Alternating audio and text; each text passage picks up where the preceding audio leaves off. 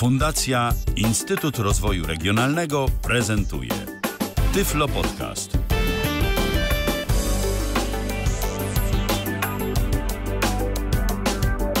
No i mamy to, moi drodzy, 12 dzień czerwca, środa i godzina 20 i 7 minut. To oznacza, że rozpoczynamy kolejne już 236 wydanie Tyflo Przeglądu na antenie Tyflo Radia.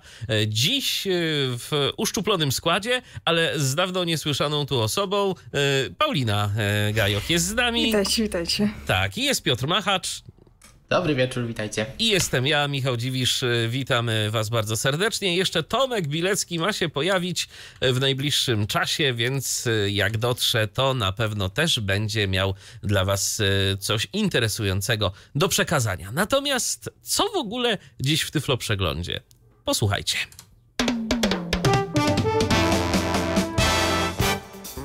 Tym tygodniu w Tyflo Przeglądzie.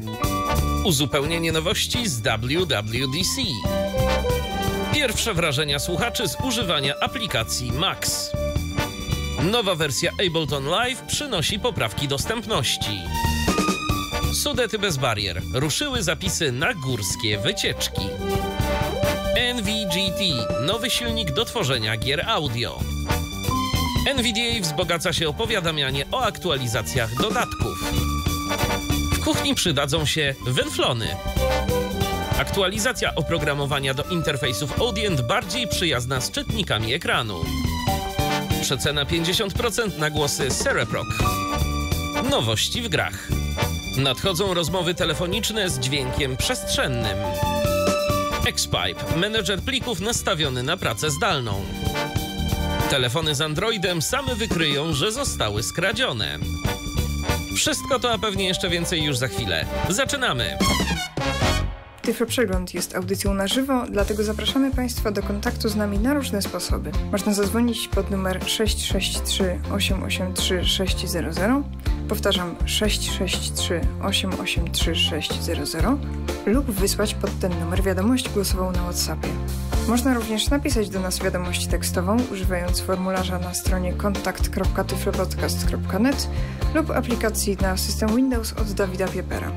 Czekamy również na kontakt pod transmisjami na Facebooku oraz YouTubie. Staramy się także zaglądać na nasz tyflopodcastowy serwer Discorda. Zachęcamy więc Państwa do dzielenia się z nami newsami, pytaniami czy komentarzami.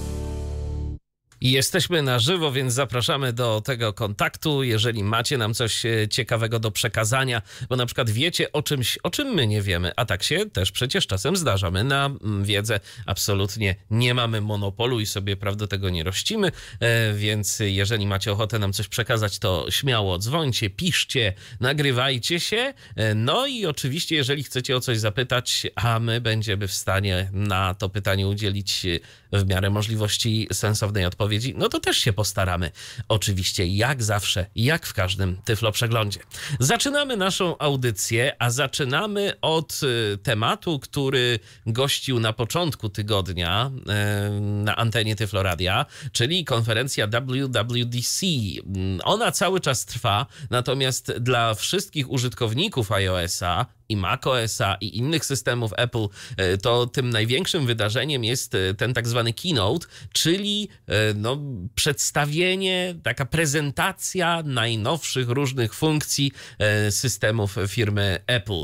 Sporo zostało już powiedziane, co nas czeka nowego, natomiast no, jak zawsze nie wszystko. Do pewnych rzeczy użytkownicy zaczynają powoli docierać, no to o czym Piotrze jeszcze wiadomo? O czym wiadomo? No, na przykład wiadomo o tym, czego jeszcze nie ma, a co było zapowiedziane, bo na razie mamy dopiero pierwsze bety tych systemów i okazuje się, że nie wszystkie funkcje, które nawet na tym keynote zostały zapowiedziane, po prostu no, jeszcze nie są dostępne.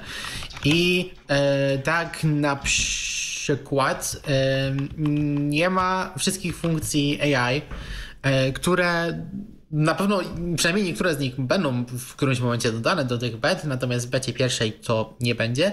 A kiedy nawet się to pokaże, no to okazuje się, że będzie lista oczekujących. Będzie ludzie znaleźli w kodzie źródłowym, właściwie może nie w kodzie, no w plikach generalnie zaczęli grzebać i znaleźli E, rzeczy, które sugerują jakieś komunikaty w aplikacjach, które sugerują, że będzie trzeba zapisać się na jakąś listę oczekujących. Samo Apple też napisało, że mm, tak jak mówiliśmy, no, funkcje AI na początku będą dostępne tylko w języku angielskim, amerykańskim. E, więc język systemu, jak i język Siri będą właśnie musiały być na ten język ustawione. One będą dostępne poza Stanami Zjednoczonymi. Natomiast e, Apple zastrzegło sobie e, taką informację, że na początku e, poza Stanami te zapytania do serwerów, które będą gdzieś tą sztuczną inteligencję dla nas wykonywać, mogą być po prostu spowolnione. Czyli przypuszczam, że jeśli faktycznie taka lista oczekujących będzie, no to raczej Amerykanie będą przed wszystkimi na tej liście, a nawet jeśli ktoś spoza Stanów się na tą listę dostanie, no to na początku gdzieś te zapytania mogą po prostu działać trochę wolniej. E, także to jest taka informacja. Oprócz tego, jednej rzeczy, której nie ma, a na którą na przykład ja bardzo czekam, więc e, no, musimy jeszcze się uzbroić w cierpliwość, to jest ta funkcja nowego macOSa, która pozwala nam przesyłać obraz z iPhone'a i tego iPhone'a e, kontrolować z naszego Maca zdalnie. E, Zatem też idzie możliwość e, odpowiadania, reagowania na powiadomienia z iPhone'a na Macu. Tego wszystkiego po prostu nie ma. Aplikacja już w systemie jest, ale jest ukryta i nawet jeśli spróbujemy ją uruchomić, no to system nam wyrzuci błąd, że funkcja jeszcze nie została włączona. No i po stronie iOS-a też prawdopodobnie mm, kod za to odpowiedzialny nie został jeszcze włączony, więc będziemy musieli po prostu na to jeszcze poczekać. Może będzie drugiej, może później pożyjemy, zobaczymy. Pewnie za dwa tygodnie druga beta się pojawi, bo tak zazwyczaj na początku debety co dwa tygodnie się pojawiają. No, ale co mamy? W iOSie, na przykład w aplikacji telefon, o tym nie wspominaliśmy, ale to też zostało dodane, mamy wybieranie T9 i to jest coś, co chyba w wielu telefonach z Androidem już było wcześniej, teraz to się też pojawiło na iPhone'ie. I co to znaczy? No to znaczy dla nas tyle, że jeśli otworzymy sobie ten telefon, przejdziemy na zakładkę klawiatura, czy przyciski, nie pamiętam jak teraz to jest przetłumaczone, mniej więcej to jest ta e, zakładka, gdzie po prostu mamy no, klawiaturę i możemy wybierać numery.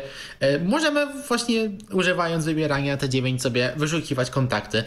Więc gdybyśmy na przykład mieli numer do Tyflo Podcastu zapisany w kontaktach, no to moglibyśmy wybrać na przykład 893 i jeśli położymy palec nad polem edycji, nad tą klawiaturą, no to będziemy widzieć wyniki wyszukiwania i prawdopodobnie w tym miejscu Tyflo Podcast nam się e, pojawi, no bo pod ósemką mamy litery TUV, pod dziewiątką WX, YZ i tak dalej. Jeśli ktoś kiedyś pisał e, SMS-y na starych telefonach, albo do dziś pisze może na Blind Shellu, wiecie o co chodzi. E, w ten sposób będzie można z poziomu aplikacji telefon sobie wyszukiwać różne rzeczy. Spotkałem się z takimi głosami gdzieś tam wśród społeczności, zwłaszcza anglojęzycznej, że czy w dzisiejszych czasach w ogóle coś takiego jest przydatne. Ja uważam, że zwłaszcza tam, gdzie to rozpoznawanie głosowe działa różnie, a wybieranie głosowe w przypadku iPhone'ów miało swoje dobre i gorsze czasy i to działa bardzo różnie. Ja szczerze mówiąc teraz to nawet nie wiem,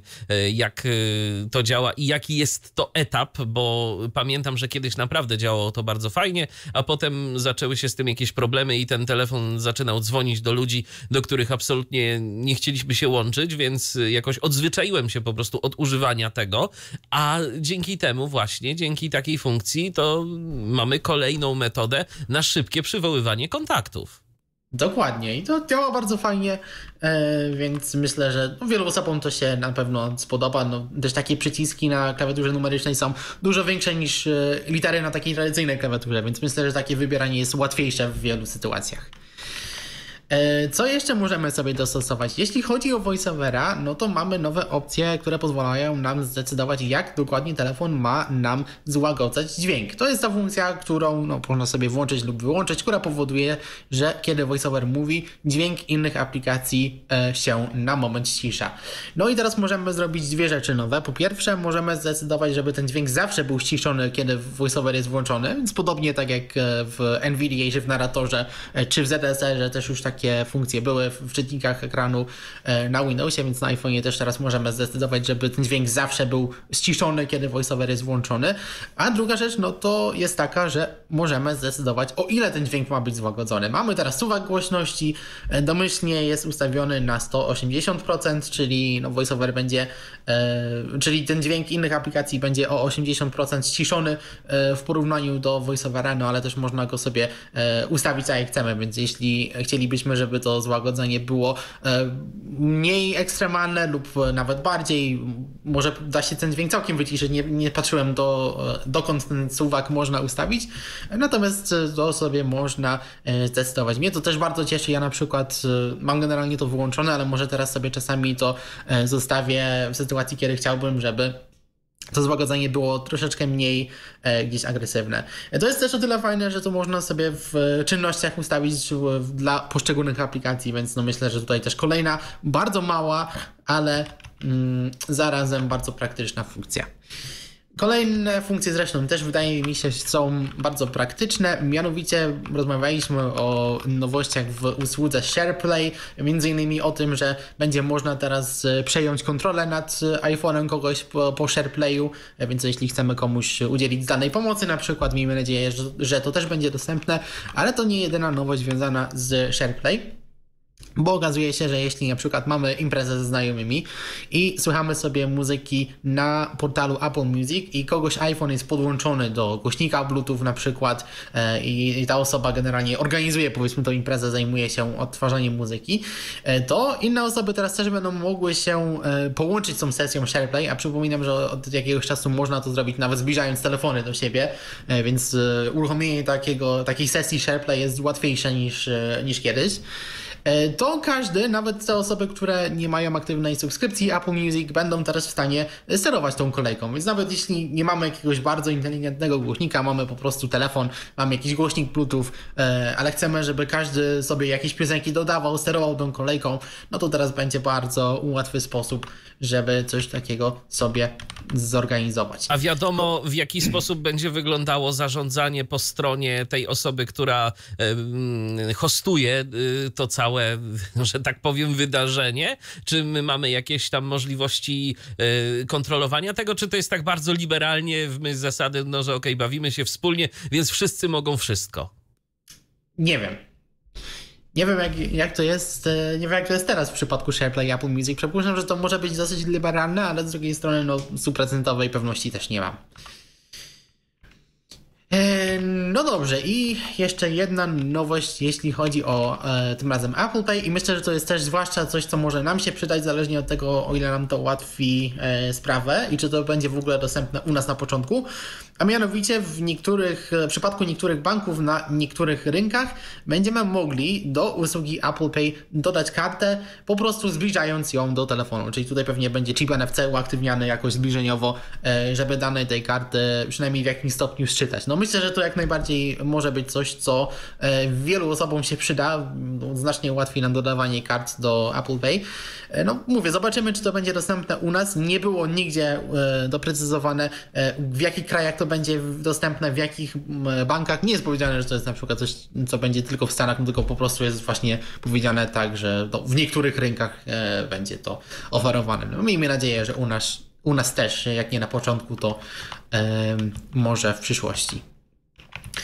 Następnie y, macOS, bo tutaj też kilka rzeczy odkryliśmy mm, po czasie. Na przykład, jeśli chodzi o VoiceOvera, wspominaliśmy o tym, że będzie teraz można wszystkie skróty klawiszowe dostosować, więc nie tylko te, które mogliśmy sobie przepisać na przykład do gładzika, czy do klawisza Option, czyli ten keyboard commander tak zwany, y, który teraz w ogóle zmienił nazwę, teraz to się po prostu nazywa polecenia z klawiszem Option, więc y, bardzo prosta nazwa.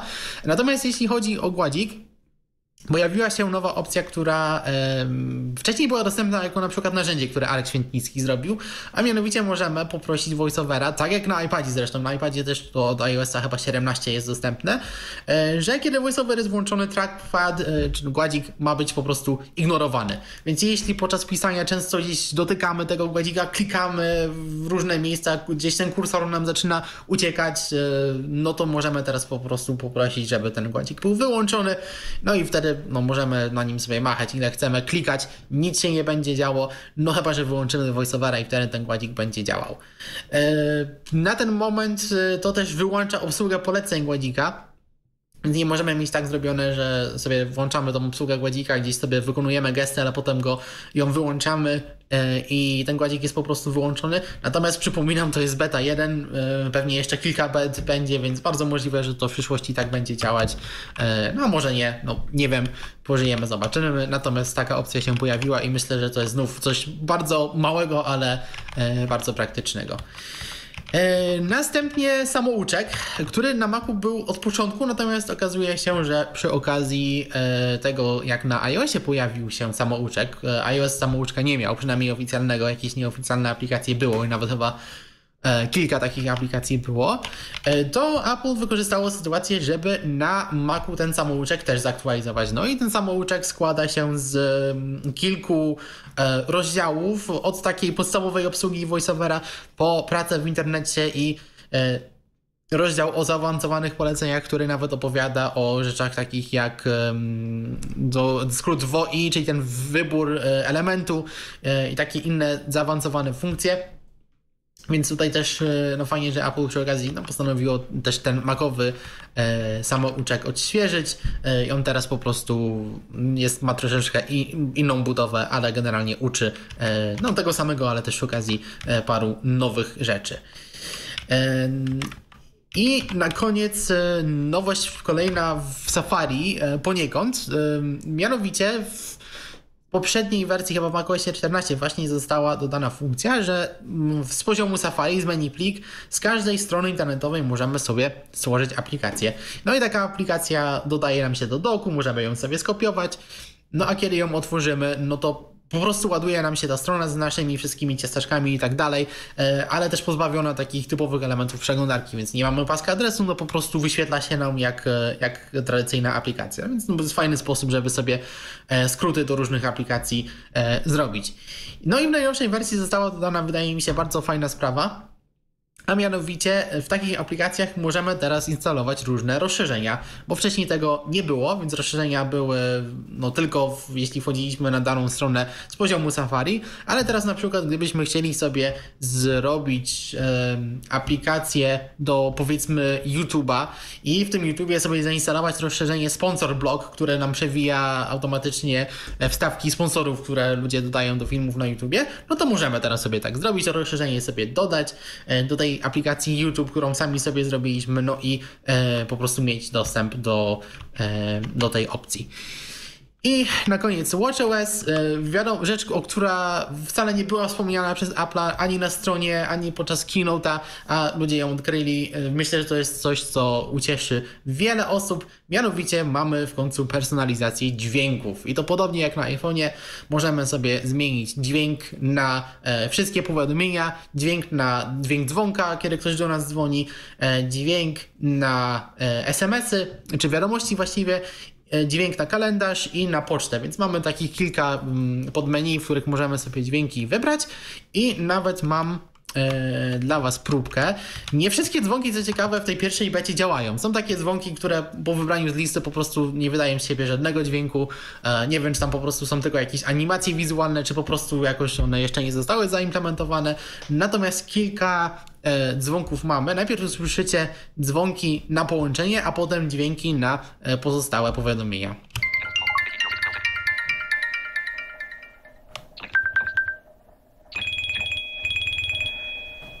To były dzwonki na telefony. Co ciekawe, ten pierwszy dzwonek, który usłyszeliście, to był domyślny dzwonek na zegarkach, które mają modem LTE kto sobie kupił taki zegarek. A teraz jak widać on jest dostępny na wszystkich zegarkach, jeśli komuś się podoba to można sobie wybrać. No i ten dzwonek na środku jest e, nowy. Mm, jest jeszcze kilka innych dzwonków na liście, ale one nie działają. No ale no, myślę, że to będzie może naprawione w przyszłych betach, ale jeszcze mamy kilka dźwięków na powiadomienia.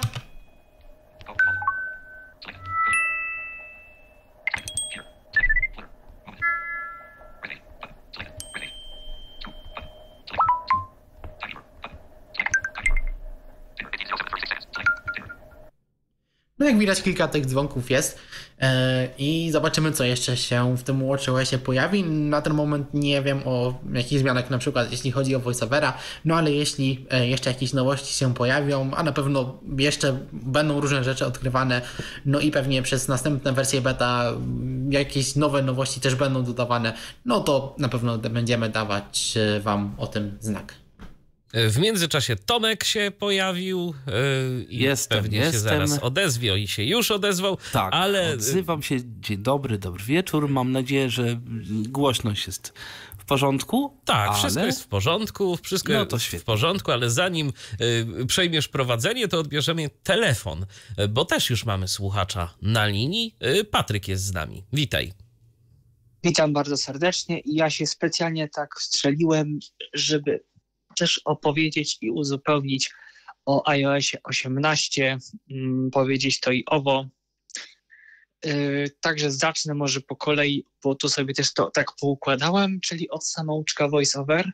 No muszę tutaj powiedzieć, że yy, Apple zapomniało o użytkownikach iPhone'ów starszego typu, czyli na przykład iPhone'ów yy, SE3, yy, tych iPhone'ów, które nie mają tego takiego dotykowego przycisku Home, mm, bo o co chodzi? Mamy na przykład lekcję w samouczku, w której to będziemy się uczyć, w jaki sposób się korzysta z przycisku Home, jak sobie można wychodzić, ogólnie jak działa Home. I jest przedstawione, napisane coś na zasadzie, że teraz dotknij dolnej części ekranu i przeciągnij do momentu, aż usłyszysz wibrację i oderwij palec.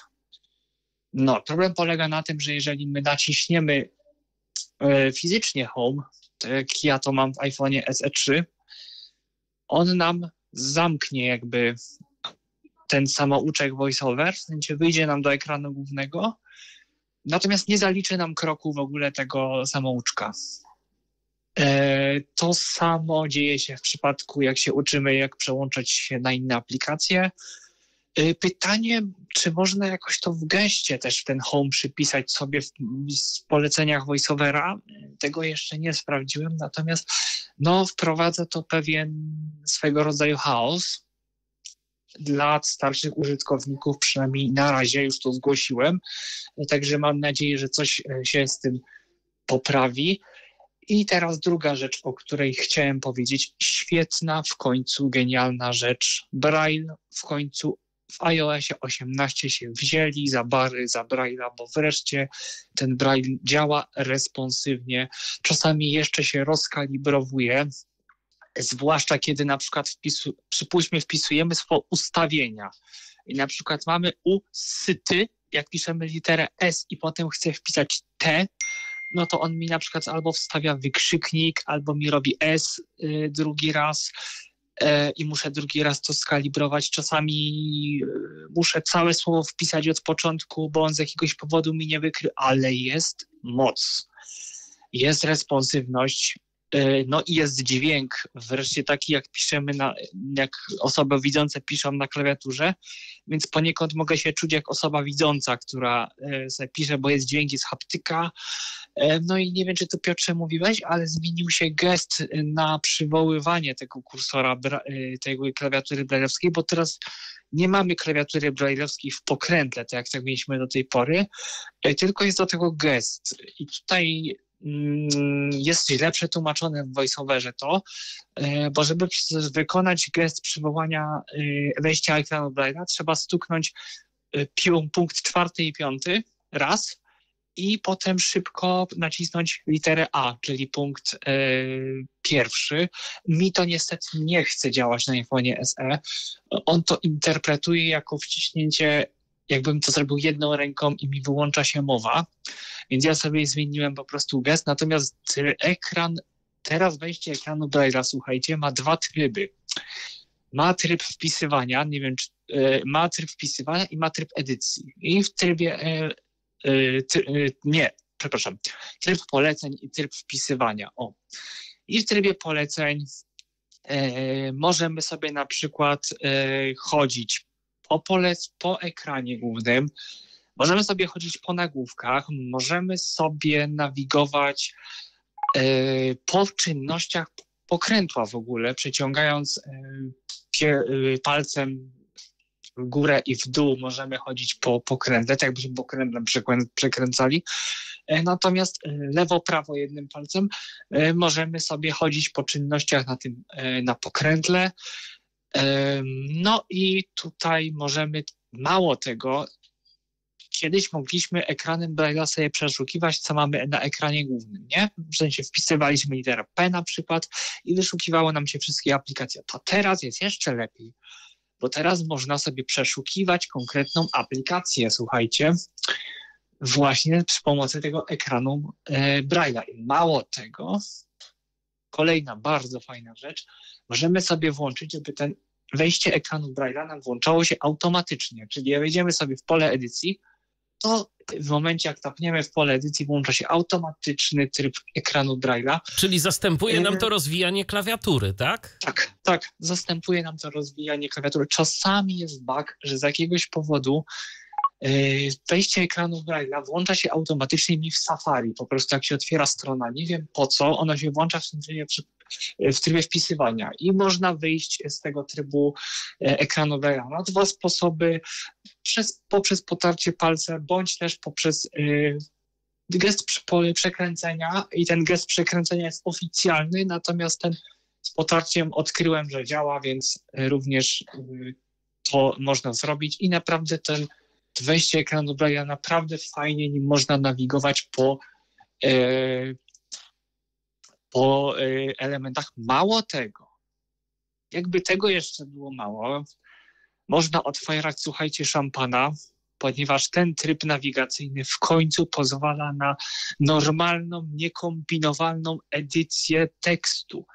Można sobie kopiować, jest gest, y, są w ogóle polecenia tego. Jak sobie wejdziecie w ten tryb, poleceń i naciśniecie punkty y, pierwszy i trzeci, czyli literę K, to wam się otworzy tak, taka sama pomoc jak trening voice-over, gdzie możecie sobie różne y, ćwiczyć gesty na tym. No i na przykład C, można kopiować tekst, można wklejać tekst, można zaznaczać już za pomocą tych, za pomocą tych poleceń. Także słuchajcie, no jest moc naprawdę jest moc.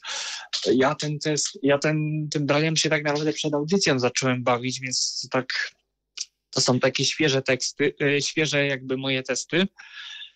No natomiast no wreszcie, wreszcie ten, to wejście, wejście Braille'a działa super, naprawdę jestem z niego zadowolony, responsywnie się pisze. I teraz kolejna rzecz jeszcze, której tu nie wiem, czy było wspomniane jeszcze Piotrze a propos Safari. E, tego nie było, natomiast obecnie można sobie przeszukiwać stronę.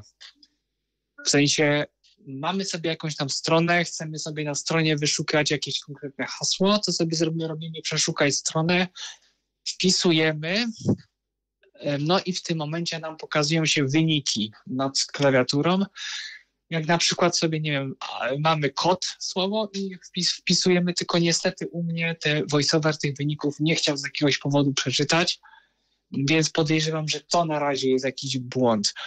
Yy, nie wiem, czy też było yy, tutaj wspominane, kolejna funkcja voiceovera do rozpoznawania voiceover, doszło rozpoznawanie obiektów teraz stamtąd możemy sobie włączyć, e, co nam ma być rozpoznawane, jakie obiekty. Niestety tego nie sprawdziłem, mm, ponieważ to nie działa, no i doszło, u mnie przynajmniej nie działa, no bo nie mam najnowszego iPhone'a.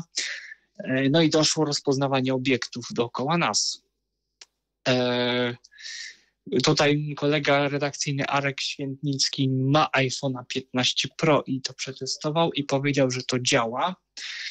E, że pokazuje, jaka jest odległość od obiektu i jest, są wibracje, także on się tym bawił. I to używa też tej funkcji AI chyba, mm, plus LiDAR. E, natomiast co jeszcze z takich, jeszcze z takich testów ogólnie, no to VoiceOver działa moim zdaniem responsywniej. Jest bardzo, słuchajcie, ciekawy błąd, nie róbcie tego, broń Boże, tego nie róbcie. Nie odinstalowujcie aplikacji hasła, bo jeżeli to zrobicie, nie będziecie mieć w ogóle dostępu do pęku kluczy i ani tej aplikacji się nie będzie dało pobrać z App Store'a. Także no to rzeczywiście. No jest tak, beta 1, przypominamy. Tak, i przypominamy, że, tak, że jeżeli naprawdę nie musicie, to jej nie instalujcie, bo to po prostu, zwłaszcza na urządzeniu, y, które jest y, waszym urządzeniem codziennego użytku i z którego korzystacie, na którym działacie, tu się dużo jeszcze może dziać. No skoro rozmawiamy o błędach mhm. takich właśnie, które e, widziałem potwierdzone przez kilka osób na publicznych miejscach, to ja na przykład tego nie mam, ale mówię, słyszałem o osobach, które mają. E, nie niektórym osobom wysypuje się aplikacja ustawienia, kiedy wchodzą do sekcji ustawień mowy w VoiceOverze. Jest na to nie sposób. O, jest to dobrze wiedzieć. E, trzeba sprawdzić, czy nie, jest, nie ma zainstalowanego albo iSpeaka, albo RH Voice'a. Czyli tych syntezatorów, głównie iSpeak jest winowajcą. No to ciekawe, bo Jak ja mam iSpeaka i mi się to otwiera. Aha, no to, no to cóż. A na przykład Arek, Arek Świętnicki ma też bardzo nieciekawy, krytyczny błąd. W trakcie rozmowy go wyłącza co, rozłącza co jakiś czas. E, I to tylko się właśnie dzieje na tych iPhone'ach. E, natomiast jeszcze tutaj chciałem powiedzieć a propos rozpoznawania ekranu, że tutaj mam wrażenie Apple położyło za przeproszeniem na tej funkcji lachę, bo tak naprawdę w tej funkcji nic kompletnie się nie zmienia. Próbowałem na kilku grach. Jest to taka sama nędza jak poprzednio. Ja mam wrażenie, że oni tą funkcję dodali gdzieś tam w iOSie 15 czy tam 14, już teraz nie pamiętam, i ona se ta funkcja jest, ale nic, nic kompletnie, nic, nic się nie dzieje, nic się nie poprawia. No i takie jeszcze moje ogólne wnioski tutaj z tym AI i z tym śmiesznym, że niby iPhone 15 Pro będzie to wymagać tylko. No, ja mam wrażenie mimo wszystko, że to jest chwyt marketingowy i głupia zagrywka Apple'a, żeby zachęcić do zakupu najnowszego modelu. No bo słuchajcie, no wątpię, że ja, ja rozumiem iPhone SE 3, dobra, no jestem w stanie zrozumieć, ale kurczę, no iPhony 15 zwykłe, iPhony 14, no przecież to są też iPhony, które mają mocne procesory i naprawdę nie uwierzę w to. Naprawdę musiałbym być totalnym idiotą, żeby w to uwierzyć że naprawdę te, telef- te procesory w tych telefonach są na tyle słabe, że nie odciągną żadnej funkcji AI. Y, Patryku, no. ja bym, a ja bym w to uwierzył, tylko pod jednym, hmm. tylko y, pewna rzecz mnie zastanawia, bo zwróć uwagę, że na razie to to AI to wcale nie będzie jakoś tak mocno dostępne. Ono na razie będzie dostępne nie dość, że w języku angielskim to tylko dla mieszkańców Stanów Zjednoczonych tak naprawdę, więc pozostałe Aha. rynki, no to w ogóle nie będą tym objęte. I Apple tak naprawdę nie powiedziało dokładnie, kiedy to będzie. Więc ja mam wrażenie, że tu jednak chyba chodzi o kwestie sprzętowe, mimo wszystko, bo gdyby to było rzeczywiście coś, co można e, sobie lekkim kosztem uruchomić, e, to prawdopodobnie e, jakby chcieliby, żeby jednak więcej osób te telefony kupiło. Ja rozumiem, że rynek amerykański jest duży i oni tam na pewno no, mają największy zbyt, ale pozostałe kraje, no dlaczego tego nie uruchomili yy, w tym momencie? No być może. No. Natomiast z moich obserwacji, że tutaj powiem, że u mnie iOS 18 trzyma o wiele dłużej baterię niż, niż siedemnastka, także tu ja jestem w tym jestem zadowolony. A tak dla wszystkich użytkowników, którzy mm, chcieliby zainstalować, a mają jedyne urządzenie, róbcie so, zróbcie sobie kopię w iTunesie. Ja wiem, że iTunes to jest program, który e, no, większość osób, jedni go przeklinają, drudzy go nienawidzą trzeci go, trzeci, a trzeci go nie lubią, ale A ja go po prostu mam. Natomiast... A ja go po prostu mam. I y, tyle tak naprawdę, bo natomiast ja go nie muszę lubić, ale on się przydaje. On się przydaje chociażby po to, żeby zrobić kopię i zawsze można, jeżeli coś, jeżeli będziemy chcieli przywrócić, zawsze można iPhone'a uruchomić w tryb awaryjny. Nie pamiętam jak to się robi, ale jest do tego mnóstwo poradników w internecie y, i można sobie przywrócić a jeżeli mamy w iCloudzie miejsce, no to to również y, można zrobić kopię. No i tutaj takie przypomnienie, nie trzeba mieć konta deweloperskiego płatnego, żeby korzystać z bez iOS-a deweloperskim. W dalszym ciągu to działa, wystarczy się zarejestrować Apple ID i po restarcie telefonu pojawi nam się w ustawieniach iOS Developer Beta 18 i po zaznaczeniu tego już powinna pojawić się aktualizacja tegoż systemu. Dobrze, Patryku. Tak. To, to czy coś jeszcze masz dla nas? czy coś jeszcze mam dla Was? Myślę, że na ten moment, na ten moment to jest wszystko. Nie wiem, Piotrze, czy będziesz o Forcy mówić i o update'cie, to o, czy masz Będę, to tak. Okej, okay. dobrze. To y, z mojej strony to na razie tyle. I jeszcze powiem tylko tyle, że jeżeli chodzi o aplikacje podstawowe, tylko jakieś bankowe i YouTube i takie inne rzeczy, nie natrafiłem na żadne, które nie działały. Także ja jestem ogólnie zadowolony z, y, z iOS-a. A czy patrzyłeś, Piotrze, jeszcze na tą funkcję, że można sobie głos swój y, trenować? Czy to jest dalej po angielsku, czy to rozszerzyli? Jeszcze teraz, po, jeszcze teraz po chińsku. Aha, ale tak, to było przez zapas zapowiedziane nawet na początku, ale nie, niestety polskiego jeszcze nie ma. No i pewnie nie będzie. No nic. To tyle z mojej strony. Dzięki Patryku za telefon. Do usłyszenia. Przechodzimy jeszcze najpierw do komentarza, który wysłał do nas słuchacz, zdaje się. Tu są tak naprawdę dwa komentarze. Y, okay. Akurat one się pojawiły nie pod Tyflo Przeglądem, ale pod y, RTV ostatnim, w którym też mówiliśmy a propos aplikacji Max, ale z racji tego, że również y, poruszaliśmy ten temat w Tyflo Przeglądzie, no to myślę, że nie od rzeczy będzie kilka słów na ten temat powiedzieć. Mamy komentarze od dwóch słuchaczy. Najpierw mamy tutaj wypowiedź od Mikiego i Miki napisał do nas tak. Zainstalowałem właśnie Maxa na swoim Apple TV. Pobawiłem się dosłownie chwilę, bo byłem ciekaw, czy jest ona dostępna. Jak najbardziej jest dostępna. Zapewne jakieś błędy będą, gdy zacznę jej normalnie używać. Kontrolki odtwarzacza są dostępne i da się zmienić ścieżkę dźwiękową oraz napisy.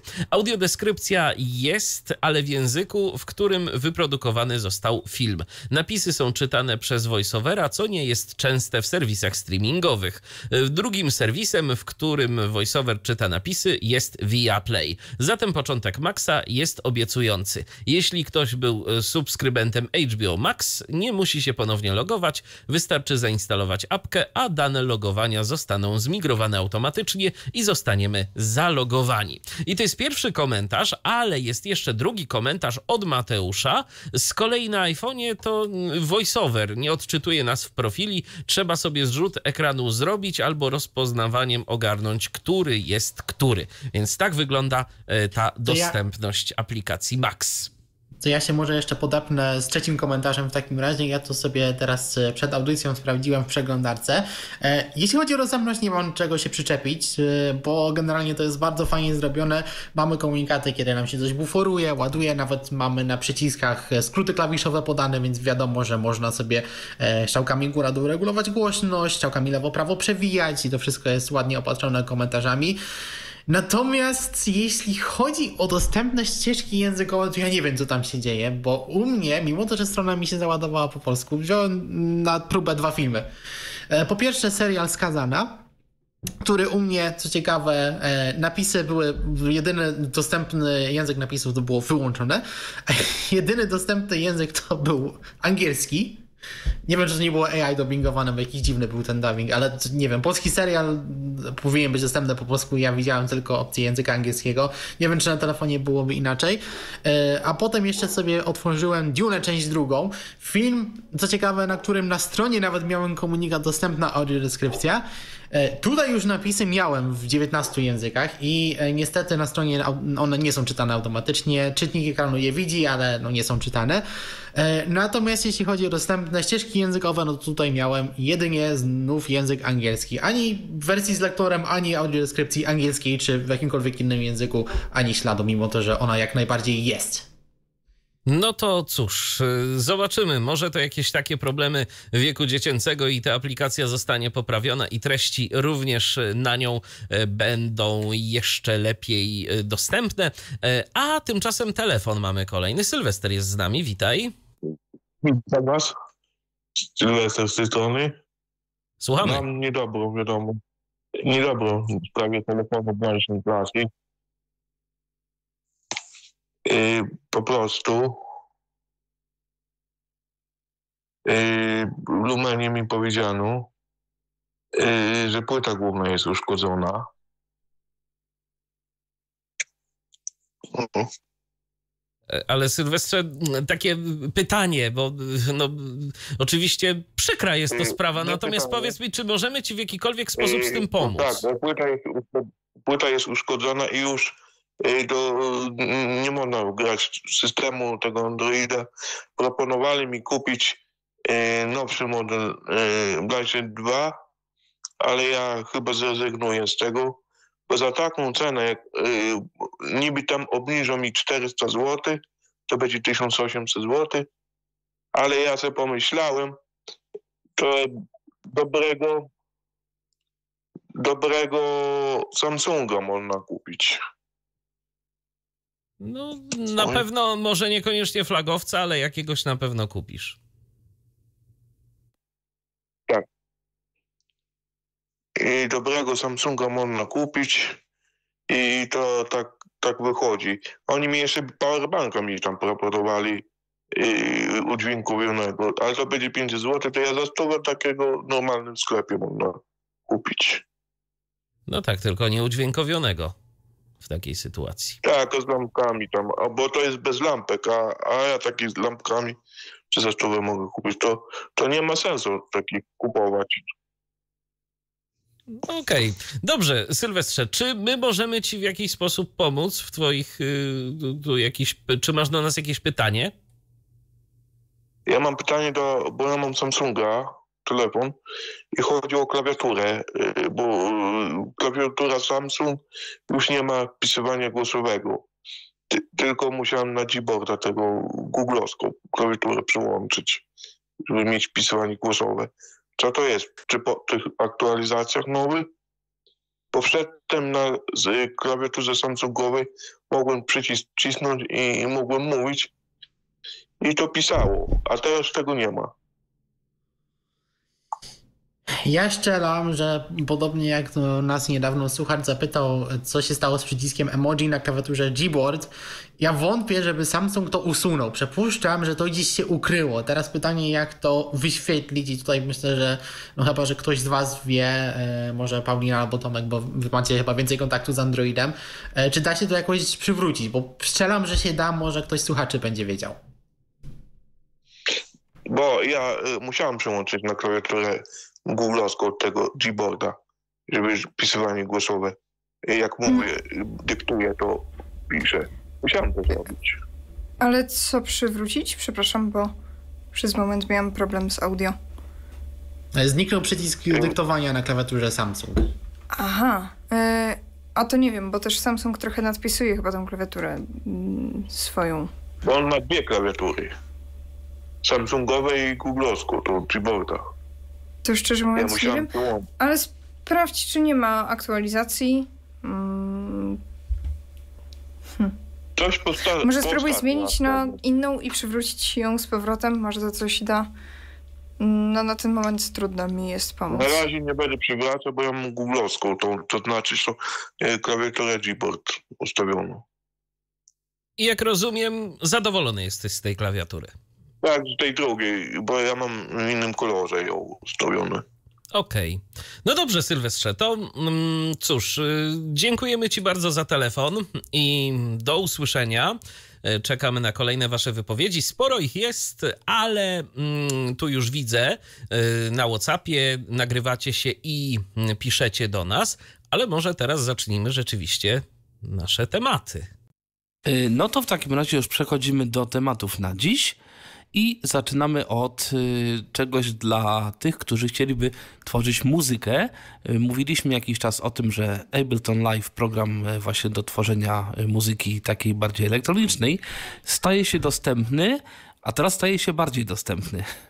Tak jest, bo pojawiła się pierwsza taka duża aktualizacja do tej e, serii 12, konkretnie jest to wersja 12.0.5, e, w której to producent konsekwentnie poprawia tą dostępność i dodaje rzeczy, e, które dostępne nie były wcześniej, albo nawet czasami po prostu więcej opcji, które pozwalają nam tą dostępność e, dostosować. I tak, jeśli chodzi o nowości, to mamy 15 elementów na tej liście związane z dostępnością. Zaczynając od tego, że kontrolki, które mają trzy stany, i mamy czasami pola wyboru, które mogą być częściowo zaznaczone, no teraz ten stan częściowo zaznaczony e, będzie e, oznajmiany przez czytnik ekranu. Na przykład w sytuacji E, kiedy mamy zaznaczone kilka klipów, niektóre są zapętlone, ale niektóre nie, no to ten przełącznik pętli po prostu nam będzie taki częściowo zaznaczony stan e, w takiej sytuacji wyświetlał. No i też parę innych kontrolek w aplikacji, które podobnie się będą e, zachowywać. W edytorze MIDI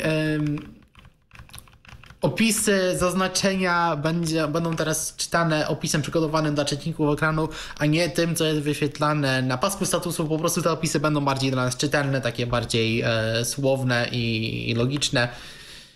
E, ponadto mm, do pod menu opcje ustawienia dostępności została dodana e, nowa opcja. Możemy zdecydować, żeby live nas zawsze informował o, o pozycji kursora, o zaznaczeniach różnych e, w sekundach, no bo domyślnie to po prostu mamy czytane pozycję tak e, w notację muzyczną, a możemy też sobie po prostu tak jak na przykład w Reaperze poprosić, żeby nam zawsze były sekundy czytane, no bo osoby widzące też sobie mogą taką informację widzieć. E, wpisy, wprowadzanie krokowe w edytorze MIDI też zostało bardziej udostępnione. Po prostu będziemy mieli komunikaty podawane na czytnik ekranu, kiedy będziemy jakieś nuty dodawać lub usuwać. E, w edytorze takim e, w tej osi czasu, widoku aranżacji też jeśli mamy tą opcję oznajmiania czasu w sekundach zaznaczoną, no to po prostu w tym widoku to też będzie działało do tego stopnia, że będzie podawało informacje w godzinach, minutach, sekundach i jeszcze nawet milisekundach, więc e, no bardzo precyzyjnie. Jeśli naciśniemy jakieś polecenie, które z jakiegoś powodu jest niedostępne. Na przykład, nie wiem, próbujemy coś usunąć, ale nic nie jest zaznaczone e, i jest wyświetlany jakiś błąd, no to teraz e, będziemy o tym poinformowani. E, Live po prostu powie, że jakaś opcja jest niedostępna. Kolejna opcja, która została dodana do podmenu ustawień dostępności czytaj rozszerzone opisy nut MIDI i to kontroluje takie rzeczy jak domyślnie live nam podaje dosyć dużo informacji, kiedy chodzimy po, w edytorze MIDI, jak mamy jakąś nutę zaznaczoną, no to mamy informacje o jej długości, o jej natężeniu, o jej prawdopodobieństwie, bo można sobie ustawić, żeby jakieś nuty były odtwarzane tylko w losowych momentach, na przykład co 50%, więc jeśli chcemy jakieś takie e, bardziej ciekawe kompozycje tworzyć, e, to można sobie ustawić. E, jeśli mamy właśnie e, jakąś nutę, która, której prawdopodobieństwo jest na 100%, czyli no, domyślnie tak to jest, e, no to po prostu live nas o tym będzie po prostu nie informował, no bo nie ma sensu, żeby gdzieś ten komunikat był dłuższy w takich sytuacjach. Kiedy pobieramy sobie jakieś dodatkowe dźwięki, nowe pakiety dźwięków, ich status pobierania teraz będzie oznajmiany, wcześniej po prostu nie był i musieliśmy no, po prostu na czuja sprawdzać, czy już się nam coś pobrało, czy nie. E, w miejscach interfejsu, gdzie mamy karty, na przykład w właściwościach klipu, w niektórych e, urządzeniach, w niektórych instrumentach, tak jest. E, teraz te karty są już dostępne z czytnikami ekranu i też można do nich dotrzeć z klawiatury i przełączać się między tymi kartami szczałkami. Błędy, które się wyświetlają na pasku statusu też będą teraz automatycznie odczytywane E, w narzędziu do dodawania akordów MIDI całe jest takie narzędzie do szybkiego dodawania takich stosów akordów. E, jeśli zmienimy e, nuty w takim akordzie, teraz czytnik ekranu nas będzie o tych zmianach informował. Jeśli wejdziemy do edytora MIDI, to czytnik ekranu nam też powtórzy nazwę klipu, e, jaki akurat edytujemy, a wcześniej po prostu tylko był komunikat edytor MIDI. E, poprawki w, nie, w niektórym oznajmianiu niektórych kontrolek oraz nawigacją z klawiatury w niektórych e, urządzeniach, czyli tutaj znów różne instrumenty stały się bardziej dostępne. Mm, kiedy zaznaczamy nuty w edytorze MIDI, tutaj mamy kilka mniejszych poprawek.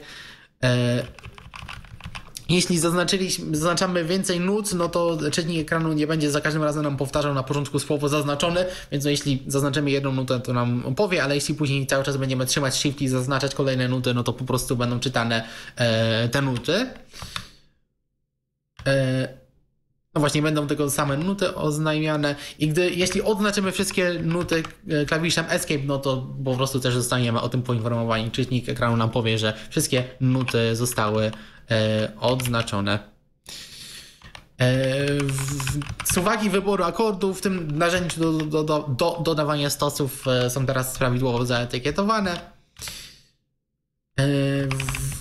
Wskaźniki statusu w sekcji monitorowania e, są teraz czytane. To są takie informacje, gdybyśmy na przykład mieli jakiś przester, e, zużycie procesora, tam mam kilka takich wskaźników, one teraz są po prostu e, dla nas dostępne. Jak po prostu jakby nam się coś zaświeciło, jeśli naciśniemy na nich Enter, no to live nam powie, ile sekund temu ostatnie takie zapalenie się takiej lampki wirtualnej miało miejsce. Mamy tutaj też kilka innych e, mniejszych zmian, jeśli chodzi o samą aplikację. No, przez to tych zmian jest dużo. Na przykład, jeśli przeglądamy sobie wtyczki VST, no to one teraz są grupowane według producenta. W, w Live 11 to było tak się działo. W 12 to zostało usunięte. Wiele osób na to narzekało, więc e, zostało e, przywrócone. Ale tutaj mieliśmy jeszcze jakieś mniejsze poprawki błędów, no ale przez to, że lista poprawek ma ponad 100 elementów, to myślę, że na razie nie będę ich przeszukiwał. Natomiast to są e, generalnie takie mniejsze poprawki. Fajnie, że cały czas e, producent gdzieś tą dostępność dodaje. E, miejmy nadzieję, że to będzie cały czas trwało. Wiem, że też instrukcja obsługi została zaktualizowana, zwłaszcza rozdział o skrótach klawiszowych. E, który, e, no wcześniej mieliśmy osobną sekcję o, dla dostępności, ale teraz też te wszystkie skróty klawiszowe właśnie z dostępnością związane zostały też dodane do tej głównej instrukcji obsługi, więc e, mamy teraz fajne miejsce, żeby o tych wszystkich skrótach, gdybyśmy tego potrzebowali, przeczytać. Jest jeszcze trochę rzeczy do zrobienia, no cały czas nie ma automatyzacji dostępnej, nadal tam niektóre instrumenty też jeszcze trochę pracy wymagają, natomiast fajnie, że cały czas zmiany są wprowadzane, no i miejmy nadzieję, że to będzie kontynuowane, kontynuowane e, i w kolejnych wersjach Abletona e, ta dostępność będzie jeszcze lepsza. A jeśli ktoś jeszcze nie testował, a jest ciekawy, jak e, działa ten w sumie najbardziej popularny, albo jeden z najbardziej popularnych programów do tworzenia muzyki, no to jak najbardziej polecam, warto go sobie ściągnąć i przetestować. Zaglądamy do Waszych wypowiedzi. Na przykład mamy kilka wypowiedzi od Maćka, więc podejrzewam, że będzie o Apple'u. Portal iCulture o tym pisał tenże holenderski portal, mm, odnośnie e, aplikacji e, hasła i odnośnie tego, że można sobie tworzyć kody QR do Wi-Fi. Także elegancko, słuchajcie, e, wcześniej Michał, ty zdaje się w którejś z audycji wspominałeś o tym, że mm, o, o, pewnym generatorze mm, kodów QR i chyba nawet też na przykładzie Wi-Fi, natomiast e, właśnie ja też znalazłem gdzieś tam e, inny z kolei, bo tego jest troszkę w necie.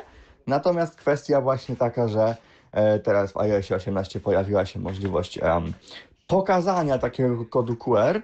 To nie jest tak, że sobie go stworzymy i, e, i, i, go sobie zapiszemy podobno. Chociaż jak zrobisz zrzut ekranu, wtedy to będzie i, i, i po prostu taki do stricte do wydrukowania i tak dalej, ale domyślnie, jakby docelowo póki co, E, ma służyć temu, żeby po prostu no, pokazać na chwilę danemu użytkownikowi, użytkownikowi kod po prostu i, e, i żeby, sobie się, żeby się mógł podłączyć do naszej sieci Wi-Fi. E, nawet było porównanie generalnie jak to w iOS 17 można było zrobić, a jak w, w, w iOS 18 że w 17, że w 17 jest do tego specjalny skrót w tej galerii skrótów w aplikacji skróty, E, natomiast tu w iOS 18 mm, zostało to uproszczone. E, swoją drogą właśnie, jeśli byście sobie odinstalowali aplikację skróty, bo tak, bo, bo coś tam i się wam nie przydała i, i chcecie ją ponownie przywrócić z App Store'a, to wpisanie skróty niestety nie, nie przynosi efektu. Trzeba sobie wpisać shortcuts, shortcuts i wtedy e, pierwsza ta pozycja będzie właśnie skróty, pierwsza albo druga nawet, nie, nie wiem teraz, w każdym razie ja miałem ostatnio taką przygodę z y, iPhone'em jednego użytkownika, że tej aplikacji nie miał, bo została ona odinstalowana i trzeba było przywracać, żeby zrobić automatyzację pewną. Czyli piekło, słuchajcie, poniekąd zamarzło. Ja e, też byłem bardzo za tym, żeby te dźwięki e, WatchOS-a można sobie było personalizować. Chyba zdaje się, tam pisałem nawet e, w, w feedbacka mm, i zgłaszałem też. Pewnie nie byłem jedynym. No, w każdym razie dobrze, że się to E, że, że, że w końcu Apple poszło, poszedł, poszło do porozum do głowy i, i to wprowadziło. E, swoją drogą, e, ten pierwszy i ostatni dźwięk odnośnie powiadomień miałem i ja nawet powiem więcej, chyba jakbyście był Apple Watch trójka, to był ten, to był jeden z nich. Nawet jak miałem, wiecie, ja, ja oba zegarki mam, miałem z LTE, to znaczy miałem trójkę z LTE i teraz S2 też mam z LTE i e, w jednym przypadku miałem e, jeden dźwięk e, dzwonka, w drugim przypadku mam drugi, tylko już teraz nie pamiętam kolejności. Natomiast no dobrze, że to w końcu sobie będzie można pozmieniać, bo niesamowicie irytowało mnie, że iMessage ma taki sam dzwonek, czy tam SMS, generalnie aplikacje wiadomości jak mail na przykład nie i w sumie nie wiedziałem co to. No tak samo kalendarze, przypomnienia, choćby nawet i cała reszta powiadomień, nie? No, dobrze, że chociaż te dźwięki e, reakcji na wiadomości, tabaki, serduszka i tak dalej, że, że chociaż to było inne, bo już naprawdę człowiek zwariował. A jeszcze mam do Ciebie pytanie, Piotrek. Jako, że mm, e, mówiłeś o, o tych nowościach, e, tytułem uzupełnienia dzisiaj, w związku właśnie z tym mam pytanie odnośnie tego, do tego samouczka VoiceOver na iOSie. Czy on tak z ciekawości w sumie E, już e, został spolszczony, czy to jest jeszcze taka e, słodka wersja angielska, zważając na to właśnie, że to jest pierwsza beta. Odnośnie do wejścia ekranu Braille'a i automatycznego jego aktywowania w Safari, to to chodzi Patryku o to, że i wcześniej, kiedy takiej możliwości nie mieliśmy, a żeby to się aktywowało, aktywowało automatycznie, mogliśmy sobie z poziomu pokrętła właśnie w Safari na danej stronie internetowej takowe pokrętło, e, takowe wejście e, Braille'a odpalić i za pomocą jego nawigować. E, nie pamiętam teraz co prawda skrótów, czy N to był nagłówek, czy H to był nagłówek. Na, na pewno E to było łącze. E łącze i tam można sobie było palcem góra-dół po poprzednich następnych łączach chodzić i tak dalej. E, więc być może N to był nagłówek, e, to chyba w zależności nawet od wejścia, od układu tablicy brajlowskiej, znaczy się, można było. Więc generalnie opcja była i dlatego no, e, to się teraz dzieje jak się dzieje. Czy tyle? Chyba tyle. A propos Apple ID, no właśnie, teraz już nie Apple ID, tylko konto Apple. To, o czym się mówiło, to się stało. Apple Account, Apple ID, yy, konto Apple Także, e, także taka zmiana. No i teraz właśnie jeśli chodzi o synchronizację haseł, e, no to w ustawieniach już nie, nie ma prawda, tej sekcji hasła, skoro jest osobna aplikacja do tego. E, można sobie tylko w ustawieniach wyłączyć i włączyć synchronizację pęku kluczy tak naprawdę, jeśli chodzi o hasła. No i w zasadzie to, to, to takie zmiany tam, jeszcze, jeszcze ustawienia gdzieś tam lekko zostały przeprojektowane ponoć, nie wiem, nie testowałem, nie, nie sprawdzałem. Takie tam rzeczy. W sumie fajne jest to też w sumie nie było tego, zdaje się, wcześniej, chociaż można było to poniekąd uzyskać e, poprzez e, przyciśnięcie, znaczy dwuklik z przytrzymaniem na ustawieniach, ale teraz podczas wyszukiwania tej aktywowania tej opcji szukaj w ustawieniach już się też pojawiają sugestie nad, nad, nad ustawieniami, do czego byśmy akurat chcieli szybko sobie przejść, więc taka ciekawa, ciekawa w sumie zmiana, taka hmm, może spoko, że jest. No i tam właśnie się pewne rzeczy mm, przeszły w górę, tam lekki redesign tych ustawień, także no tak jeszcze odnośnie. E, no i tam, i że tam ponoć e, też te ustawienia iClouda zostały jakoś też tam przeprojektowane, troszkę to bardziej zostało. No i co? I, I, jeszcze to, że, że, że, że w końcu już nie mamy takiej mega długiej listy z aplikacjami, tylko to jakoś jest bardziej zgrabnie ogarnięte pod osobnym nagłówkiem, przyciskiem czy czym tam jeszcze, nie? Więc to w sumie też spoko, bo to mnie trochę irytowało, nie? Że, że, że, że każda aplikacja, no okej, okay, niech sobie ma ustawienia w ustawieniach e, swoje własne, tylko że było mega przydługie się potem robiło, nie? No i też jeśli chodzi o iPhone 15 i wszelkie ich warianty, czyli Plus, Pro i Pro Max również, nadchodzi nowe, jeśli chodzi o troskę o mm, baterie tychże urządzeń. Oprócz optymalizacji baterii Apple poszło jeszcze dalej, to znaczy tego automatycznego włączania optymalizacji, mianowicie, że teraz można sobie ustalić stricte limit ładowania urządzeń i tam są bodaj chyba trzy opcje, jest 80%, jest 85 i 90. A jeśli ktoś uzna na przykład, że no dobra, 80 to mu jednak jest za mało, ale do 90 sobie będzie chciał ładować telefon, to ten telefon mu się nie będzie e, ładował po prostu. Po osiągnięciu tego progu, progu e, tego limitu ustalonego sobie przez, przez, przez, przez użytkownika nie będzie można e, dalej telefonu doładować. E, i tu jeszcze, bo z racji sobie zdaję sprawę, że tych wiadomości do mnie było dużo, wracam do tego pytanka z ciekawości do Ciebie, Piotrek, odnośnie właśnie samouczka voiceover, jak to z tą jego, jego, jego spolonizowaniem jest na, na iOSie w tym momencie. No, to wszystkie wiadomości. Piotrze, co z tym samouczkiem? E, nie wypowiem się, natomiast e, przed chwilą słyszeliśmy, że Patryk o nim opowiadał i nie mówił, żeby tam coś było niespolszczone, więc przypuszczam, że e, spolszczony został. No tylko jak widać inne rzeczy muszą być dopracowane. No to co? Przechodzimy dalej chyba. I sobie teraz troszkę odpoczniemy od technologii, bo będzie o o wycieczkach w góry. Mm, Michale, tutaj news od ciebie. Zgadza się. Dla tych wszystkich, którzy mają ochotę wybrać się w Sudety w ramach e, projektu Sudety bez barier. To jest informacja, jaką zaczerpnąłem ze strony Fundacji MIR, aczkolwiek e, nie ta fundacja się e, zajmuje e, jej organizacją, a właściwie tych wycieczek organizacją. Otóż już 23 czerwca rusza szósty sezon wycieczek górskich na, dla osób z niepełnosprawnościami. Tym razem uczestnicy i uczestniczki będą zdobywać sześć szczytów zaliczanych do korony gór Dolnego Śląska i obejrzą też spadające gwiazdy w górach izerskich. Udział w wyprawach jest bezpłatny, ale obowiązują zapisy, a liczba miejsc jest ograniczona. Łączą nas góry to jeden z największych w Polsce programów promujących turystykę wytchnieniową. Na wycieczki zaprasza organizator programu Łączą Nas Góry, Fundacja Ładne Historie. W tym roku uczestnikom i uczestniczkom towarzyszy dodatkowy cel.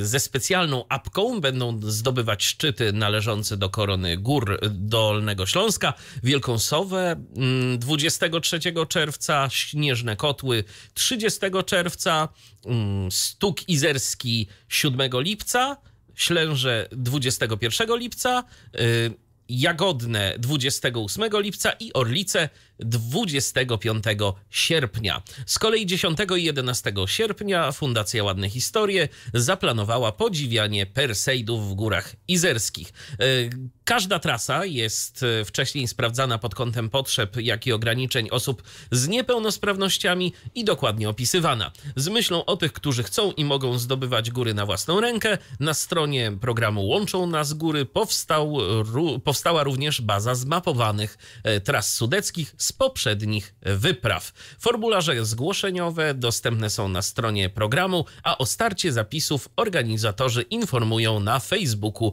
e, projektu Łączą Nas Góry. I jeżeli chcielibyście uzyskać więcej, to oczywiście e, więcej informacji, to oczywiście będzie stosowna garść linków pod audycją. Natomiast z racji tego, że mało czasu już jest, żeby się zapisać, to mm, przynajmniej podam Wam teraz adres organizatora, mianowicie ładnehistorie.pl. Ladnehistorie.pl taki jest adres tej e, fundacji, strony tej fundacji, która za organizację tych wycieczek odpowiada. No dobrze, a my teraz przechodzimy do kolejnej wiadomości głosowej. Tym razem wiadomość głosowa od Szarlotki. Ja również chciałam wyrazić radość z tego właśnie powodu, jeśli chodzi o tego Braille'a, a też testuję od yy, w zasadzie samego początku tą deweloperską betę. Sama jestem tym zaskoczona, ale postanowiłam spróbować. Byłam bardzo ciekawa, jak to wszystko tam działa.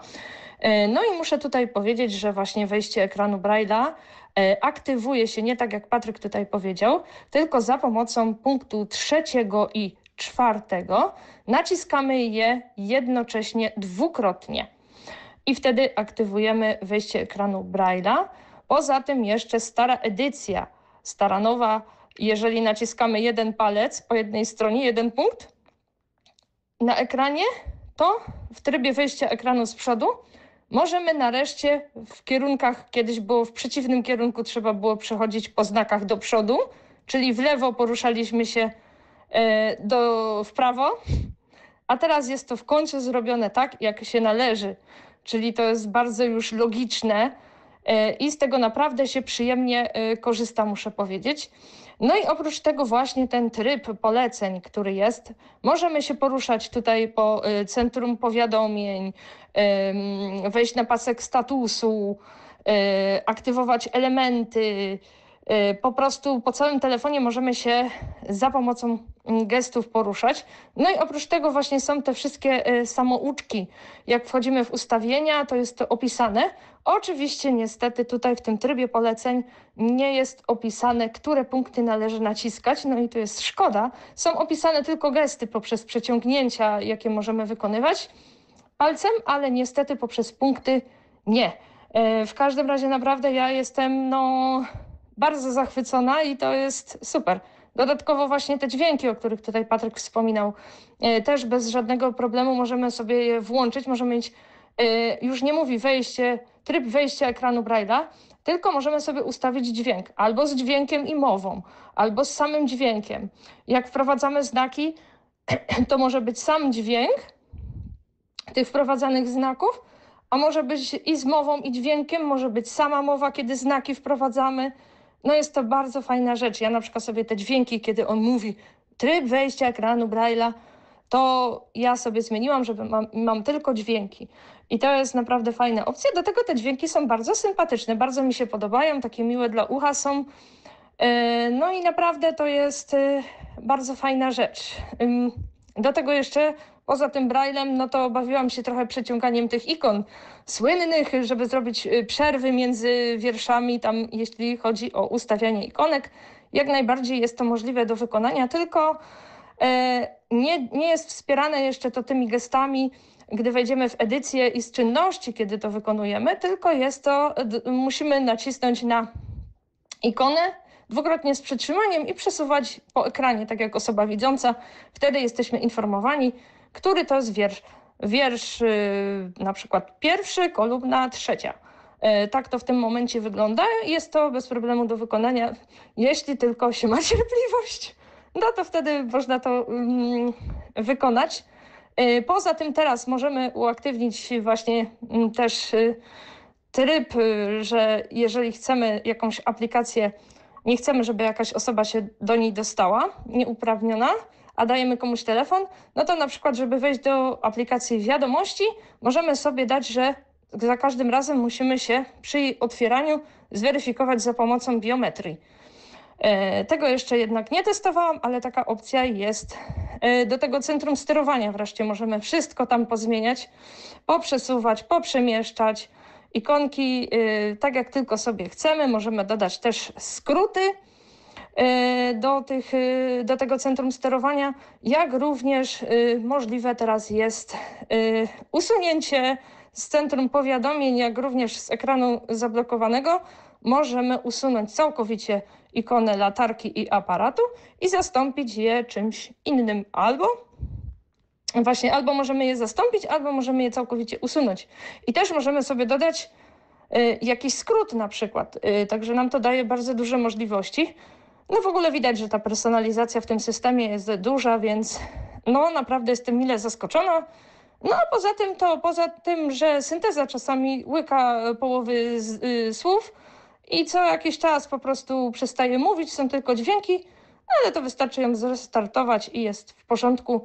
To muszę powiedzieć, jak na pierwszą betę deweloperską moją w życiu, y, to naprawdę muszę powiedzieć, że jestem bardzo pozytywnie zaskoczona, jak to na tym etapie działa. Dziękujemy bardzo za tę garść informacji. E, odbieramy kolejny telefon. Kto jest z nami po drugiej stronie? Witajcie, Paweł z tej strony Podolski się kłania. Witaj, Pawle. E, ja właściwie dzwonię, żeby wam podziękować za audycję na temat ZOM H1 Essential. bo były różne tutaj komentarze i mniej przychylne i bardziej, że dużo o tym mówicie, a ja właśnie uważam, że bardzo dobrze, ponieważ no, jest to kolejne urządzenie udźwiękowione, zaprojektowane na zasadzie, że do urządzenia zaprojektowanego dla wszystkich zostały dodane sample, czyli jest to projektowanie uniwersalne, prawda? Nie jest to sprzęt specjalistyczny, który udaje, że cokolwiek potrafi i kosztuje cztery razy więcej co normalne sprzęty, tylko no, cenę ma normalną i można go y, obsłużyć. Y, więc ja sobie przesłuchałem tutaj próbek y, nagrań, które Tomek uskutecznił. Tak samo właśnie jak on, ja też jestem fanem nagrywania różnych dźwięków transportowych i to zadecydowało, że postanowiłem właśnie takiego Zooma sobie kupić i chciałem się właśnie zapytać, czy byłby jakiś sposób rozsądny na szybką normalizację tych plików, jakiś skrypt albo coś takiego. Tomku, czy coś podpowiesz takiego na szybko? Ja spróbuję stworzyć coś takiego, jak ten skrypt, y, tylko zaktualizowany do, no, do obsługi tych zoomów. Ja nie wiem, czy on poradzi sobie z plikami 32-bitowymi. Być może tak, Aha. być może nie, nie wiem. E, ale coś, no, myślę nad tym. E, I dzięki za przypomnienie to spróbuję coś ogarnąć takiego. Ostatnio żeby... na Eltenie, na blogu Daszka, którymś tam, nie, nie, nie pamiętam którym, e, tak. był sposób dotyczący tego, jak to zrobić z Goldwave'em. Więc jeżeli tak. używasz tak. Goldwave'a, to e, może w ten sposób. Tak, to znaczy ten sposób działa. Tyle, że jest troszeczkę. Mm, nie wszystkim się sprawdzi, tak mi się wydaje. Dlatego, że tam jest powiedziane, jak plik znormalizować. To znaczy zrobić tak, żeby najgłośniejszy moment pliku no, mieścił się w tym przedziale takim, żeby to nie było przesterowane. Tyle, że jeżeli na przykład cały plik jest cichy, ale w pewnym momencie, jak jest stuknięcie w urządzenie, które jest bardzo głośne, to y, ta metoda spowoduje, że to stuknięcie pojedyncze w urządzenie będzie no właśnie takie do maksimum zrobione, natomiast cała reszta może być naprawdę bardzo cicho nadal nagrana. Więc y, to jest taki sposób, y, no, który no, nie spowoduje, że ten plik będzie zepsuty, natomiast często może spowodować, że ten plik będzie po prostu dość cichy, choć oczywiście nie zawsze, to, to, to, to prawda. Natomiast ja bym chciał coś takiego zrobić, żeby to przez cały czas jakby patrzyło poziomy i gdzieś tam no, na podstawie pewnie jakieś wtyczki VST, żeby no, gdzieś tam coś z tym dźwiękiem próbowało na bieżąco robić, choć no, postaram się to zrobić w taki sposób, żeby to było no, stosunkowo mm, no, przy, no żeby, żeby no było to dosyć przyjemne, że tak powiem, do odsłuchu, żeby nie było tylko efektu szarpania dźwiękiem. No zobaczymy, czy mi to wyjdzie wszystko. Mam takie pytanie, jak dokonujesz nagrań, czy Zoom masz, czy nie wiem, czy masz go w ręce, masz go w jakimś futerale, yy, czy, czy, czy, są w ogóle dostępne jakieś futerały to znaczy, innego typu? To znaczy tak, ja y, raczej nagrywam na mikrofonach zewnętrznych, dlatego że Zoom y, jest bardzo czuły na wszelkiego rodzaju podmuchy. I to jest duży problem dla tego rejestratora, Teoretycznie można by go zasłonić gąbką od Zooma H1N, jeżeli ktoś taki posiada, choć ta gąbka nie pasuje tak w 100%, więc trzeba uważać, żeby na przykład jakiś silniejszy wiatr jej nie zwiał. No tak czy inaczej, nawet z gąbką ten rejestrator no jest troszeczkę taki mm, trochę Mm, no i uciekło mi. W każdym razie no, wymaga pewnej uwagi w, podczas rejestracji yy, w jakimś wietrze. Wiem, że są dostępne w różnych sklepach, głównie z akcesoriami foto-wideo, różnego rodzaju gąbki, pianki, futerka na mikrofony. Być może któreś z nich pasowałoby właśnie na Zooma. Nie wiem co prawda które, ale jest pewna szansa na to.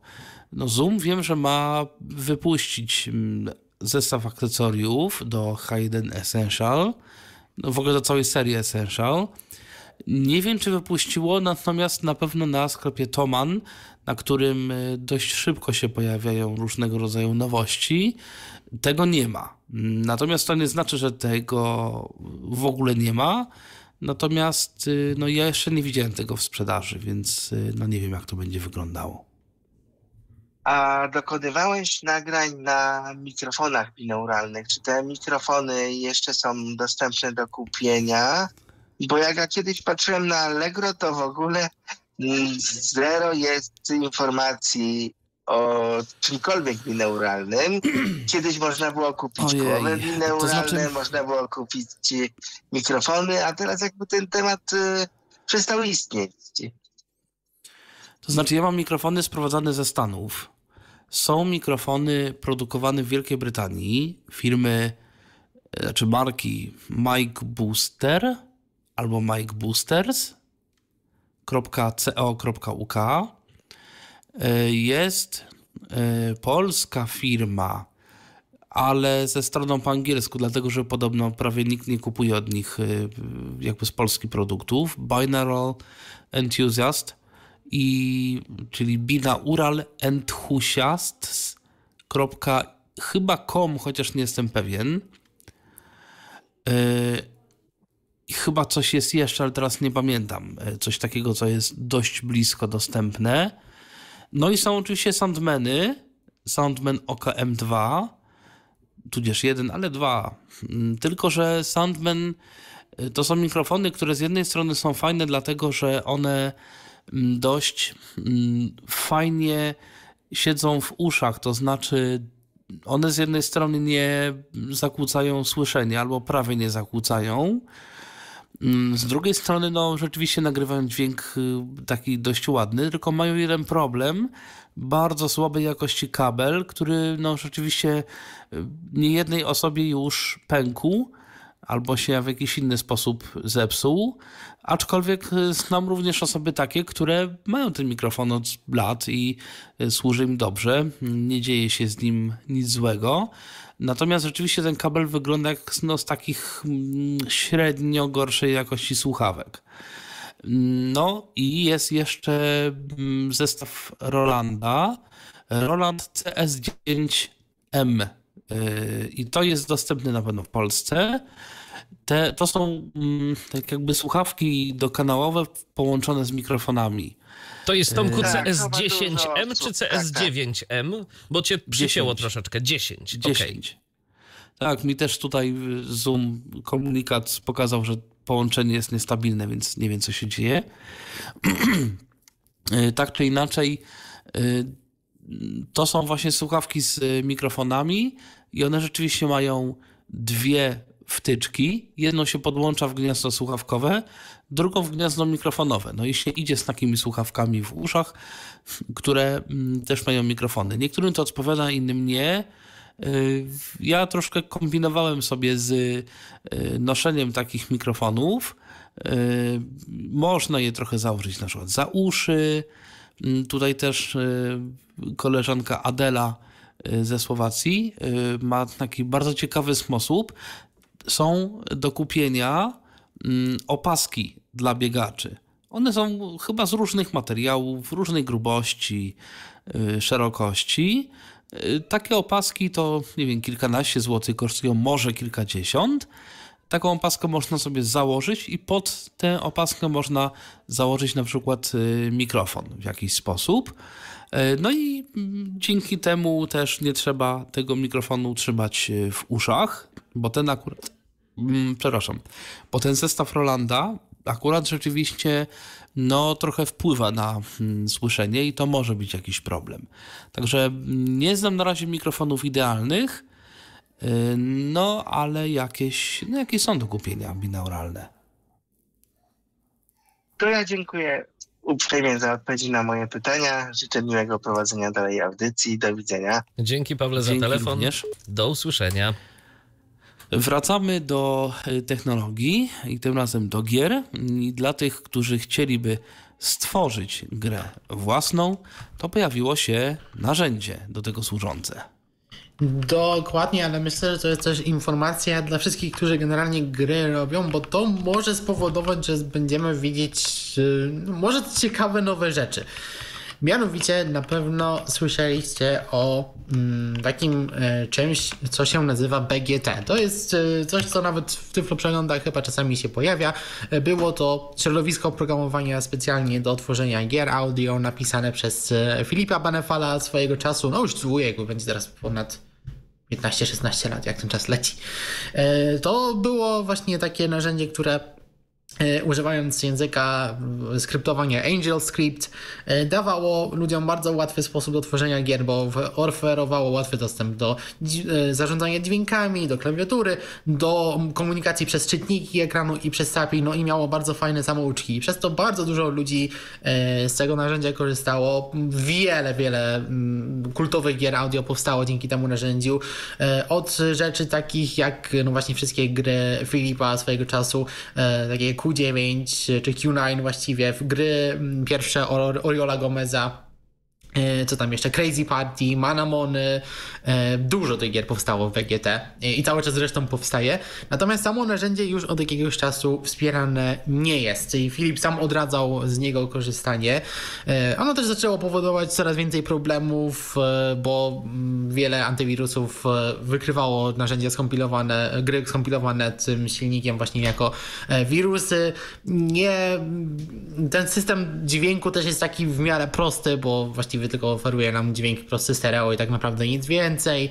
E, Nie ma wsparcia dla Unicode, więc e, zwłaszcza języki gdzieś nie wiem, e, które wykorzystują inne alfabety chiński i języki pisane cyrylicą, no to stanowią duży problem arabski. No BGT miało dużo swoich problemów, ale też miało wielu fanów. Jednym z fanów tego narzędzia jest Sam 2P, który swojego czasu też stworzył wiele gier w tym silniku. Między innymi e, Survive the Wild czy, e, czy Red Spot, no takie najbardziej, tak, najbardziej znaną grą chyba właśnie jest Survive the Wild, które e, rozwija się do dziś. No i właśnie poniekąd przez tą grę mamy to, o czym będę teraz opowiadał teraz, no bo on chciał cały czas tą grę rozwijać, no ale napotykał coraz więcej problemów spowodowanych właśnie silnikiem BGT. Natomiast przez to, że nauczył się programować, zwłaszcza w takich językach tak zwanych niskopoziomowych, tak jak C++, no to po prostu zaczął pisać e, swój silnik do rozwijania tych gier. Wziął to środowisko skryptowania AngelScript, z którego korzystał BGT, e, więc e, generalnie gdzieś e, sam kod gdzieś został zachowany, ale podpiął to do dużo bardziej współczesnych elementów. No i to zaczynało e, się rozwijać najpierw na jego potrzeby, natomiast postanowił e, narzędzie udostępnić publicznie. Na początku to było gdzieś e, prywatnie, ale teraz w takiej wersji wczesnej pre-alpha zostało udostępnione publicznie. Ponadto narzędzie jest e, otwartoźródłowe, jest kod cały na GitHubie dostępny. E, Zanim tutaj e, przejdziemy dalej, no możecie sobie wejść na stronę, jest w komentarzu e, adres to jest też nvgt.gg, gdyby ktoś chciał sobie zajrzeć. No jeśli nie jesteście programistami, to, mm, to aż tam dużo, no to nie wiem ile uda wam się z tym zrobić. Może chcecie zainteresować się, gdzie rozpocząć, no to ewentualnie można. E, Natomiast e, jakie nam to narzędzie będzie oferowało funkcje. I to jest, e, no tutaj będzie trochę rzeczy technicznych, ale też kilka takich rzeczy, które myślę warto będzie zwrócić na nie uwagę, nawet jeśli nie planujemy programować, a po prostu jesteśmy graczami, jesteśmy ciekawi, na co to deweloperom pozwoli, zwłaszcza tym deweloperom, którzy już mają duże doświadczenia w BGT. E, no właśnie mamy m.in. wsparcie dla e, Unicode'a i UTF-8, czyli no dla nas to może na przykład znaczyć tyle, że nie powinniśmy mieć problemu z polskimi znakami, które czasami gdzieś się mogą e, zdarzyć. Do obsługi dźwięku mm, jest używana biblioteka Steam Audio, e, to po prostu znaczy tyle, że mamy dźwięk binauralny, to po pierwsze deweloperzy mogą sobie włączyć tak zwany HRTF, no i wtedy e, mogą w grach wykorzystywać dźwięk, który będziemy słyszeć, coś jest przed nami, za nami, powyżej nas, poniżej nas i będą mogli do tego dźwięku dodawać różne efekty, jakieś pogłosy, korek korektory, czyli na przykład jak coś będzie ze ścianą, to ten dźwięk będzie mógł być e, stłumiony, e, no różne takie efekty będzie można do gier dodawać. E, będzie mikser dźwięku, więc tutaj deweloperzy będą mieli łatwy sposób, żeby takie efekty do dźwięków dodawać. Będą łatwe sposoby, które też nie będą wykorzystywać dużo pamięci, żeby szybko manipulować danymi, jakieś szyfrowanie dźwięków innych plików wielowątkowość, więc takie gry po prostu będą mogły działać szybciej, bo e, pracę będzie można rozłożyć na procesorze. Na przykład jeden wątek może odpowiadać za całą grę, inny wątek za dźwięki, jeszcze jeden za komunikację z internetem. Gry w BGT też miały tendencję do tego, zwłaszcza jeśli było dużo graczy na jakimś serwerze zalogowanych, to wszystkie szczelanki w BGT bardzo często miały ten problem, e, że po prostu z czasem bardzo szybko ten serwer zaczynał się wieszać i przez to wszystkim gra się też zaczynała wieszać, no to e, w tym przypadku no, będzie dużo trudniej coś takiego osiągnąć, no jeśli gra jest oczywiście odpowiednio zaprogramowana. E, zabezpieczenia przeciwko tak zwanemu speedhackowi, więc gracze czasami mogli sobie grę zwalniać lub przyspieszać. Tutaj NVGT może automatycznie to blokować. E, timery bardzo precyzyjne, tutaj też coś, co się programistom może przydać. Funkcja debuggera, tutaj znów, no jeśli ktoś programuje, to wie dlaczego to jest fajne. E, no, to jest narzędzie, które łatwo pozwoli programistom odnajdywać błędy e, w swoim kodzie, nawet podczas tego, kiedy gra jest uruchomiona. BGT czegoś takiego nie miał, a wszystkie współczesne języki programowania no, coś takiego mają. E, będzie można wtyczki pisać do tego narzędzia, więc jeśli czegoś brakuje, no to będzie można, no kod jest otwarty, więc będzie można je łatwo um, rozwijać. Um, gry czy aplikacje będą mogły wykonywać zewnętrzne skrypty, no to też ułatwi deweloperom dodawanie nowych rzeczy do swoich gier, nawet przez internet. Wieloplatformowość. Myślę, że to jest bardzo ważna sprawa. E, BGT było tylko na Windowsa, a to narzędzie, no oczywiście Windowsa też wspiera, ale ponadto będzie rozwijane na Maca i na Linuxa. Więc jeśli ktoś napisze taką grę e, lub będzie chciał swoją grę z BGT przeportować, no to będzie w stanie w łatwy sposób ją też właśnie e, udostępnić dla użytkowników Maców i komputerów z Linuxem. Mm, wersja na Windowsa będzie 64-bitowa, więc e, będzie w stanie załadować więcej rzeczy, na przykład do pamięci e, zaawansowana biblioteka do odnajdywania ścieżek, która będzie wspierała 3D, no to, mm, to się przyda znów, kiedy na przykład deweloperzy będą chcieli jakąś sztuczną inteligencję implementować, żeby mm, ten komputer był w stanie lepiej ścieżki obliczać E, wsparcie dla e, JSONa, no jeśli pamiętacie nasze audycje o skrótach, to Paweł opisywał to, czego JSON się przydaje. Jest taki uniwersalny język, e, którym różne API w internecie komunikują się z komputerami i teraz NVGT już też będzie to w łatwy sposób wspierał. Wsparcie dla połączeń HTTPS. BGT tego nie miał, to jest znów przydatna sprawa. Nawet wsparcie dla Gita, więc jakby ktoś chciał mieć dostęp do Mm, repozytoriów kodu przez y, Git, na przykład, żeby aktualizację oferować, będzie można. SQLite bazy danych, no rzeczy, które przydadzą się programistom przyspieszone SAPI, e, więc e, jeśli w naszej grze będziemy wykorzystywać głosy SAPI, no to to narzędzie będzie automatycznie w stanie e, zrobić tak, żeby te głosy były bardziej responsywne, bo niektóre głosy na przykład gdzieś ciszę dodają do swojej syntezy, no to to narzędzie po cichu będzie tą ciszę usuwać, więc po prostu to będzie wszystko bardziej responsywne. Wbudowany prosty syntezator mowy, więc nawet jeśli nam czytniki ekranu zawiodą, zawiedzie nam SAPI, albo uruchamiamy tą grę, tą aplikację na jakimś, nie wiem, pod biblioteką Wine, gdzieś emulatorem Windowsa, gdzie głosów SAPI nie ma, e, no to i tak e, gry będą mogły, chociaż takim bardzo monotonnym głosem, no ale będą mogły w jakiś sposób e, do nas przemówić. Łatwa w, w przeczytaniu dostępna dokumentacja, otwarty kod źródłowy, tak jak już wspominałem. E, no i też będzie wsparcie dla czytników ekranu z równomową i e, z Braillem. W VGT też tego nie było natywnie, ale tutaj to będzie. Więc wiele osób uważa, że no generalnie powinniśmy od, mm, od tego języka gdzieś odchodzić E, bo on generalnie no, najwięcej jest, najczęściej właśnie jest tylko tutaj wykorzystywany. Z drugiej strony, przez to, że już tak duża społeczność się wokół, wokół BGT pojaw, e, pokazała, no to dzięki temu jest duże prawdopodobieństwo, że będziemy widzieć dużo gier, no i te gry będą po prostu pojawiały się na większej ilości platformach. Są w tym narzędziu wbudowane biblioteki, które po, y, pozwalają po kilku zmianach kodu tak naprawdę uruchomić te gry w tym narzędziu, no i dzięki temu już deweloperzy mogą korzystać z tych nowych funkcji. E, I widziałem parę informacji dziś na Macedonie e, i w kilku innych miejscach, że niektóre osoby już pracują na tym, żeby swoje gry do tego nowego silnika przeportować. Mason e, Armstrong na przykład mówił, że planuje swoje gry wszystkie przenieść.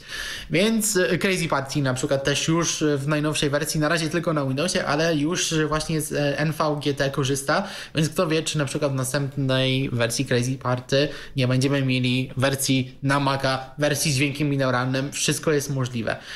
Tak Także no, czy lubiliśmy BGT, czy nie, cieszy, że mm, kolejne takie narzędzia powstają i no myślę, że to, jeśli coś może spowodować, że będziemy widzieć więcej gier audio na większej ilości platformach, albo przynajmniej e, gry, które gdzieś były lubiane, ale może zostały z tego czy z innego powodu porzucone, może pojawią się w odświeżonych wersjach, no i nie tylko na Windowsie, ale też na innych systemach operacyjnych. To teraz zaglądamy do komentarzy tekstowych, bo też się ich troszeczkę pojawiło. Najpierw sprawdzamy YouTube'a. Tu realizatorka napisała: Co do klawiatury Samsung, spróbuj sobie pobrać Microsoft Swift. Ja z niej korzystam od niedawna i jestem zadowolona. A teraz y, kilka komentarzy w, na naszym panelu kontaktowym. Najpierw mamy komentarz od Witolda. Cześć, wiecie jak przekonwertować pliki konwerterem audio NVDA. Chciałem na MP3 przerobić, wciskam NVDA y, y, i mówi, nie znaleziono przeglądarki. Skrót do wejścia w folder y, z wynikami działa. Jest w sklepie, także gdybyście nie wiedzieli i mogli przetestować, to można to szybko i łatwo zrobić. Y, czy ktoś z Was w ogóle testował ten dodatek? Chyba nie. Więc y, chyba obawiam się, że tu będzie jednak y, potrzeba nieco dłuższych testów. Y, być może tu chodzi po prostu o to, że nie ma jakiejś biblioteki do mm, konwersji, niż nie znaleziono przeglądarki, ale to tak tylko strzelam i no, trzeba by było się z tym dodatkiem zapoznać. Kolejna rzecz, i to chyba Tomku do ciebie będzie pytanie. Y, co skuteczniej działa, Demux czy Splitter? Y, oba robią dokładnie to samo. Co jest łatwiej zainstalować i użyć? Łatwiej wydaje mi się Splitter, no bo to jest po prostu aplikacja exe, która jest no, dostępna. Przynajmniej była no, wtedy, kiedy to testowałem. No ja używam Demuxa, bo ma dużo lepszą skuteczność w usuwaniu i to wszystko lepiej brzmi. Natomiast no rzeczywiście Demux jest nieco trudniejszy i nie wiem, czy jest taki mm, łatwy jakiś program dla nas, który by z tego Demuxa umiał skorzystać. Hmm. Podobno, znaczy, tak, wydaje mi się, choć nie jestem pewien, że Audacity miał jakąś e, implementację tego Demuxa, natomiast jak to działało, to już nie pamiętam. Ja to rzeczywiście jakiś czas temu instalowałem u siebie, chwilkę się tym pobawiłem, e, natomiast ja używam takiego programu e, Ultimate Vocal Remover. On jest, on jest no nie do końca dostępny, trzeba tam trochę OCR-a używać. Podobno z. Mm, jak się ten Skinder nazywał? E, chiński. ZDSR. ZDSR. ZDSR. Podobno ZDSR to wspiera, e, ale chyba, chyba tylko ZDSR, tak mi się wydaje. E, I no chyba, chyba tyle, ale być może ktoś jeszcze gdzieś zaimplementował tego Demuxa, no bo to jest jednak biblioteka no taka dość y, znana do, do tego celu i no zwłaszcza jak na darmowe narzędzie jest no bardzo dobrej jakości. Kolejny komentarz pochodzi od Andrzeja. Y, dobry wieczór. Pozwolę sobie powiedzieć jeszcze kilka słów i myślę, że zamknąć temat dofinansowania w ramach programu Aktywny Samorząd i składania wniosków przez system obsługi wsparcia, y, który był poruszany przeze mnie i innych słuchaczy w trakcie ostatnich dwóch Tyflo przeglądów.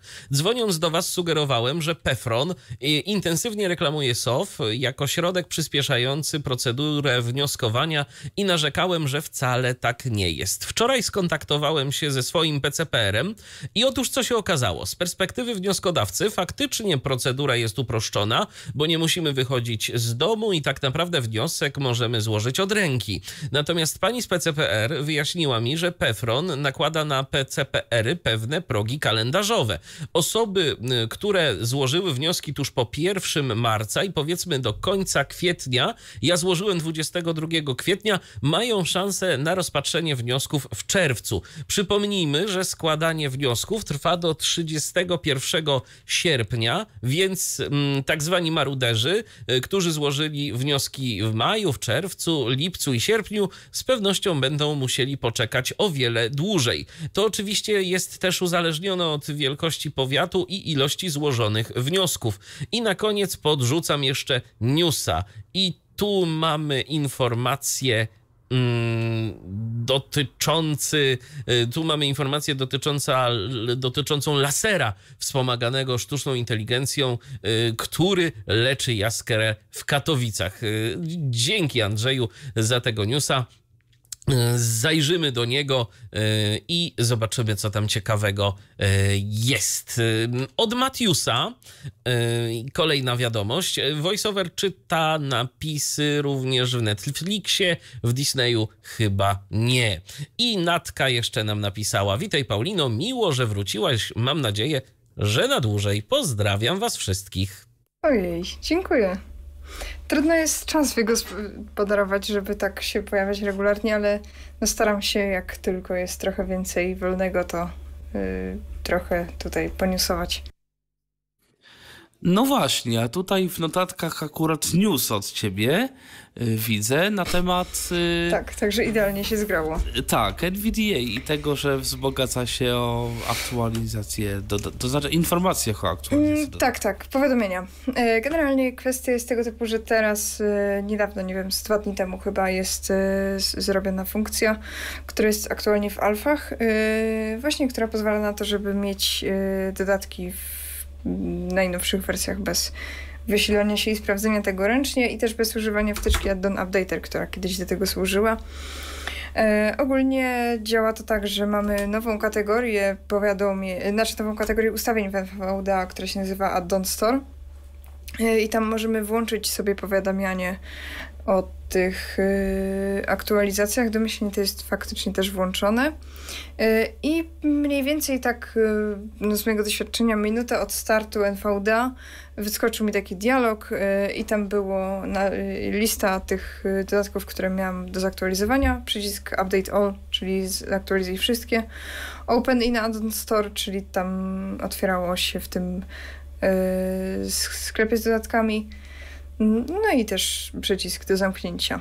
E, niestety nie było opcji, żeby zaktualizować mm, konkretne dodatki i na przykład, w sensie nie ma takich bardziej zaawansowanych rzeczy, że na przykład, nie wiem, nie powiadamiaj o tym dodatku albo coś w tym stylu, ale myślę, że to jest no, mm, to jest pierwsze w ogóle, pierwsza wersja z taką funkcją, więc może to dojdzie w przyszłych wersjach. Tymczasem kolejne wiadomości od Was, na przykład wiadomość od Rafała. Witam. Dobry wieczór, po drugiej stronie Rafał. Ja do tych kwestii właśnie tej, tej konferencji, y, która była w poniedziałek i do tej, do, do, której mówicie teraz w tym przeglądzie, o tych nowościach, e, to powiem tak, dwie kwestie. Jedna kwestia, bardzo się cieszę z tych usuwania, że można wyrzucić y, latarkę i tam aparat z tego y, z blokady, no z blokady ekranu. Bo to, bo to naprawdę na zablokowanym ekranie to było upierdliwie, nie no, kroć włączone i tak dalej, no i telefon się dzięki temu się grzeje, bateria zera szybko, no i tak jak tu mówiliście, no i też innym płacze, no. Tak same minusy tego, w związku z tym, że no, bo, bo to nawet mi się zdarzyło, że jak to, to coś tam dotknąłem, coś tam tego i czułem i włożyłem do kieszeni, nawet nie wiedziałem. No i się tak grzeją. A druga sprawa, powiedzcie mi, proszę, bo w, w iOS 18 miała wejść taka funkcja właśnie, chodziło mi o wiadomości. Mm, miała wejść możliwość, hmm, że miały być y, raporty czy coś. W każdym razie chodzi, żeby, no że tak jak tego, no że wiadomość jest odczytana, czy dostarczona, tak dalej, tak? Jaki tam, bo teraz tak jest, że nie ma żadnej informacji. Jak wyś, wyślemy SMS-a, tak? To nie wiadomo, czy ta, to, to wiadomość to SMS-a przeczytała, czy nie przeczytała, tak dalej. Żadnego potwierdzenia. A teraz od 18 miał, ma być jakieś, jakieś właśnie potwierdzenia tego. No i, i właśnie. I czy coś, właśnie to właśnie, prowadzili tą funkcję, czy jednak nie prowadzili? No to tyle. Słucham Was dalej. Wyślij, wyślij, przycisk. E, proszę jeszcze raz podanie tej strony, bo nie zapamiętam jak to tam leciała strona pio, e, Piękne Góry.pl. Chodzi mi o te wycieczki do góry i do kiedy trzeba się zgłosić.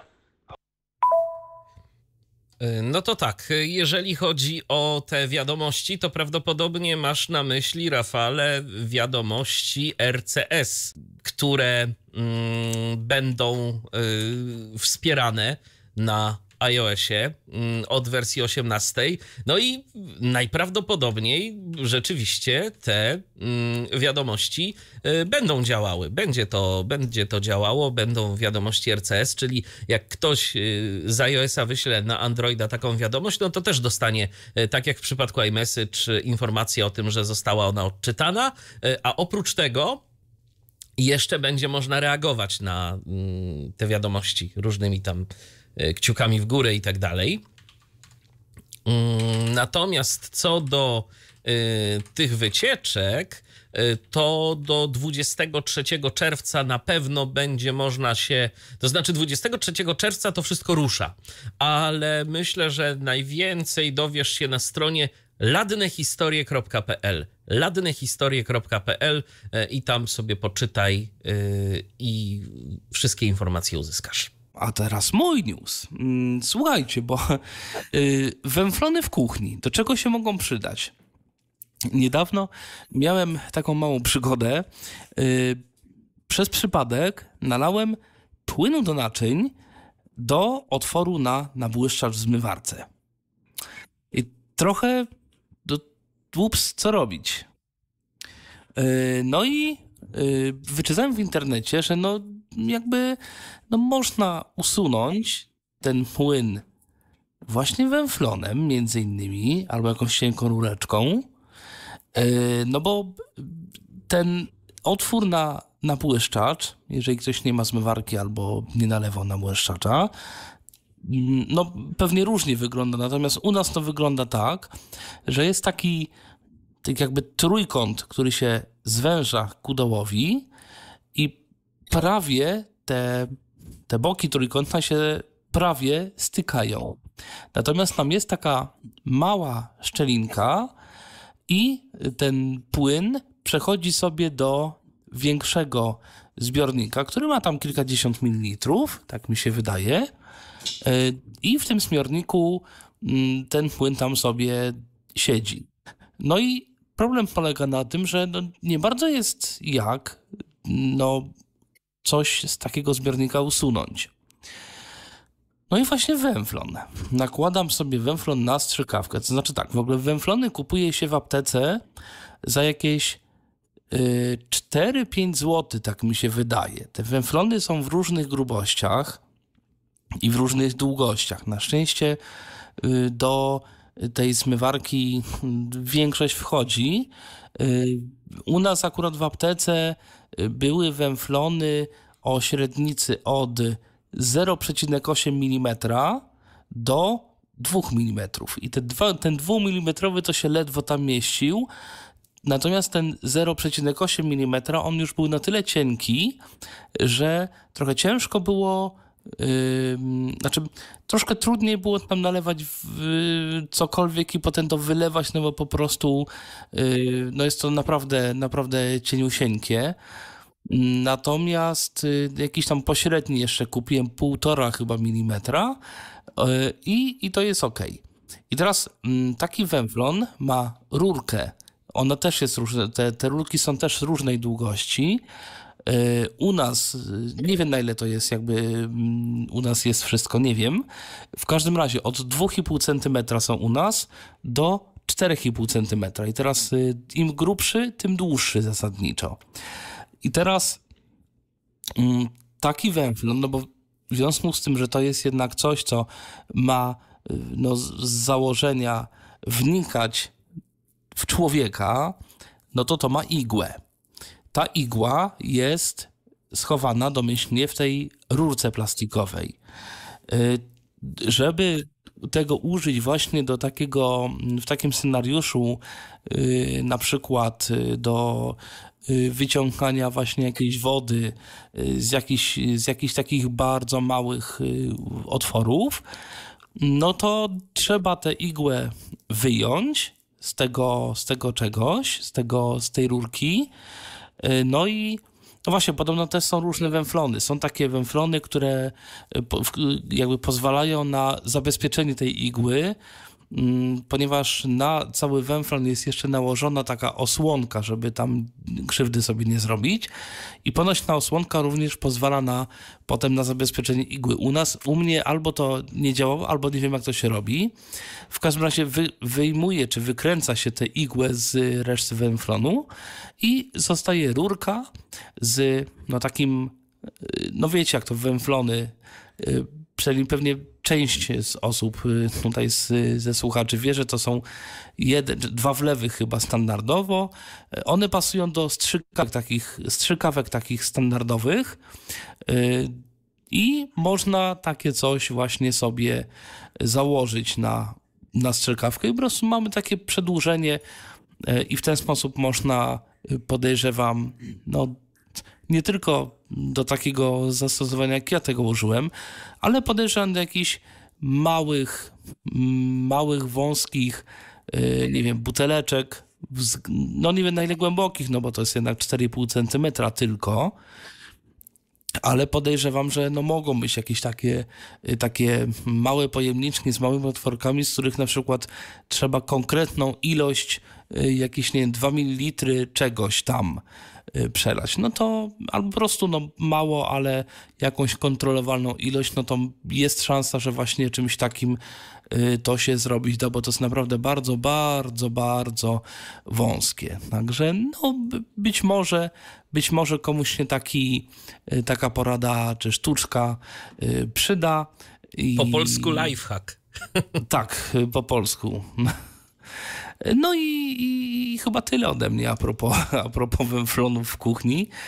No, ciekawe są e, rzeczy dostępne w aptece i e, bardzo niekonwencjonalnie można ich e, użyć, więc no tak, tak się dzielę, bo, bo czemu nie? To teraz posłuchajmy, czym się z nami podzieli Bartek. Witam. Mam małe pytanie w temacie aplikacji Facebook na iOS. Czy może ktoś z Was ostatnio zauważył po ostatniej aktualizacji, że podczas przeglądania powiadomień w aplikacji Facebook niektóre są zaznaczane? Powiem Wam szczerze, że też spotkałem się z takim przypadkiem, że przycisk powrót również był zaznaczony. Ja się nie spotkałem. Nie wiem. A ktoś na Applevis też o tym pisał. Ja ostatnio do Facebooka nie wchodziłem, ale widziałem taki post na Applevisie, że ktoś po prostu napisał, że mu Facebook i to nawet nie w Polsce zaczął mówić, że wszystko jest dla niego zaznaczone. Więc mhm. chyba coś jest na rzeczy. Czy coś się da z tym zrobić? No nie, po prostu musimy to zgłaszać Facebookowi i mieć nadzieję, że to naprawią. Do mnie natomiast ostatnio znowu jeden ze znajomych, y, z którym mam raczej bardzo rzadki i sporadyczny kontakt, odezwał się z uprzejmą prośbą, czy nie miałbym pożyczyć 300 zł do jutra. Więc pamiętajcie, włączajcie sobie y, dwuskładnikowe uwierzytelnianie. y, No i stosujcie raczej trudne hasła, ale przede wszystkim te mm, dwuskładnikowe uwierzytelnianie, y, bo to myślę, że może niejednokrotnie ocalić was później od konieczności tłumaczenia się, kiedy oddasz pieniądze. No tylko ja tych pieniędzy nie pożyczałem. Tak jest. Y, Dobrze, y, przechodzimy zatem do mm, kolejnego newsa dla y, muzyków, realizatorów dźwięku, no ludzi, którzy zajmują się w jakiś sposób obróbką audio, bo interfejsy Audient, o których już kiedyś mówiliśmy, że tę dostępność zyskają, zyskają i zyskały. Tak, one już ją zyskały w jakiejś części wcześniej.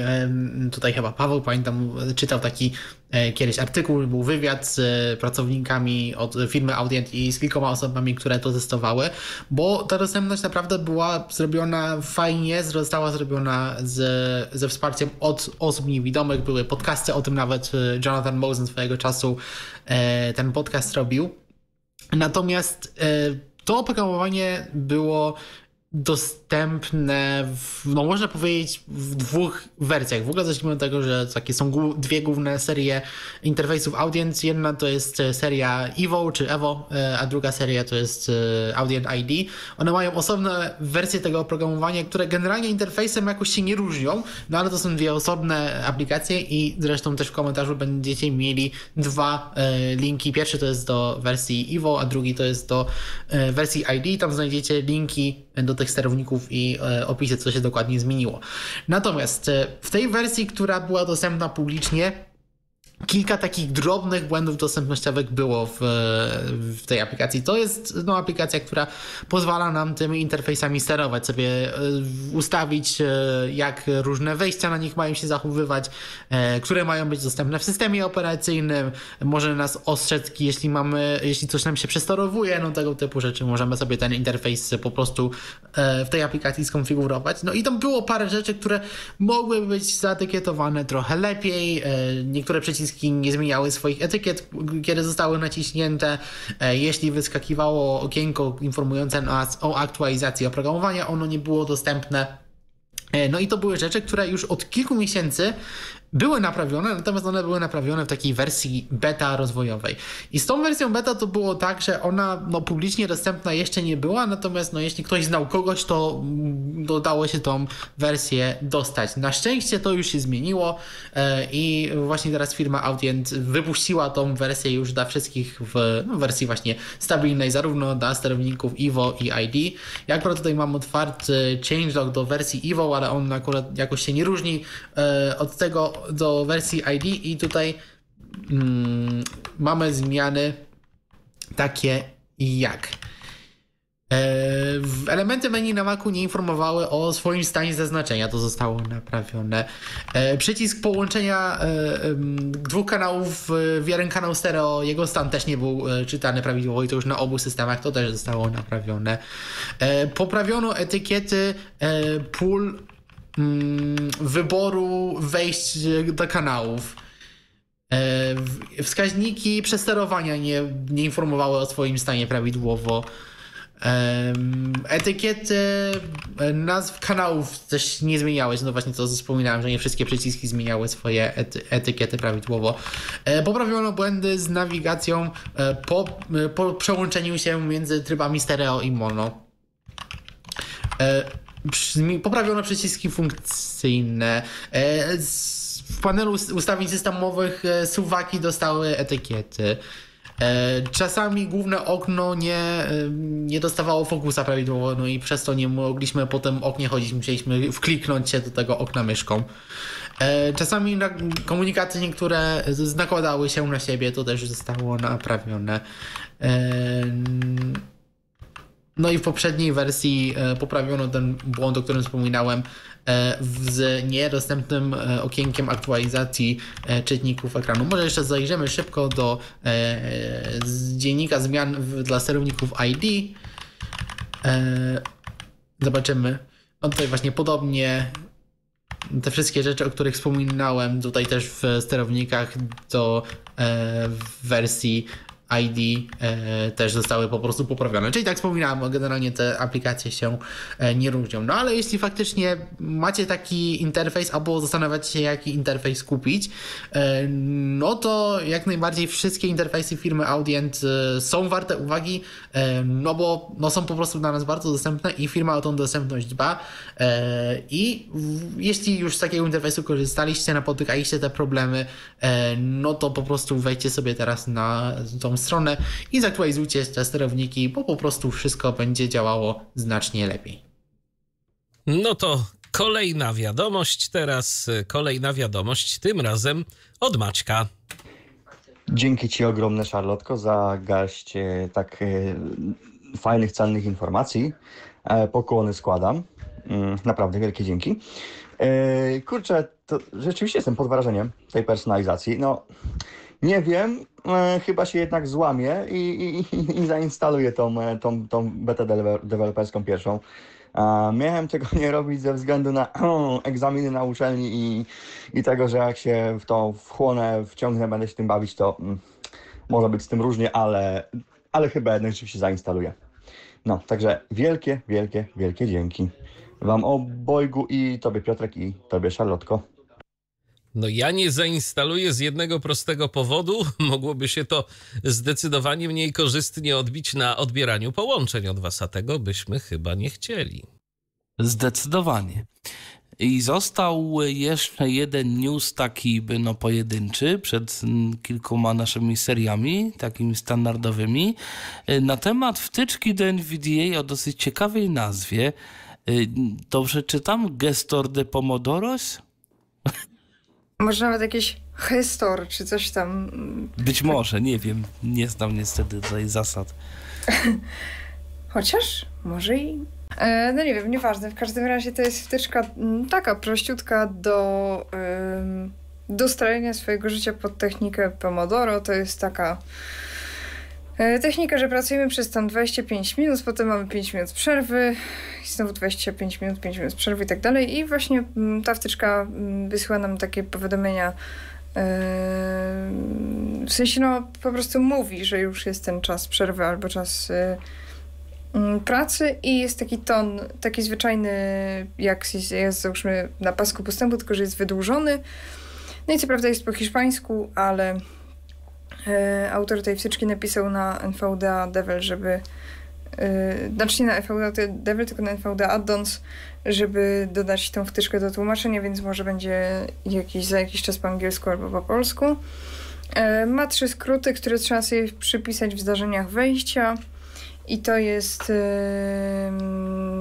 za, yy, rozpoczynanie sesji Pomodoro, yy, pauzowanie sesji Pomodoro i zgłaszanie stanu jakby, czyli czy jest przerwa, czy jest y, praca i ile jeszcze minut zostało do końca. Y, jest w tym, jest w y, sklepie z dodatkami, więc wystarczy, że po prostu sobie wpiszemy Pomodoro w wyszukiwanie i ją znajdziemy bez problemu, ale jest też y, podlinkowany GitHub.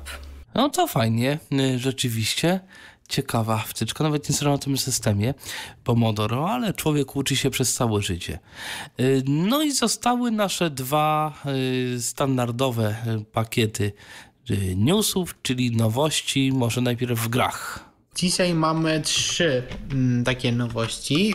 Zaczniemy sobie od gry Brock, która jest bardzo fajnie dostępną grą, która łączy ze sobą elementy gry przygodowej i gry akcji. I słuchajcie, firma Cowcat Games zapowiedziało pierwsze DLC tak zwane do tej gry, e, czyli takie rozszerzenie, które nam będzie dodawało e, nowe poziomy. Rozszerzenie nazywa się The Brawl Bar, czyli dosłownie bar, który nazywa się Bójka, e, w którym to mm, Brock sobie wchodzi z tego baru, wie, że jest dobry w sztuki walki e, i postanawia udowodnić, że jest najlepszym po prostu wchodząc w różne bójki w tym, w tym barze.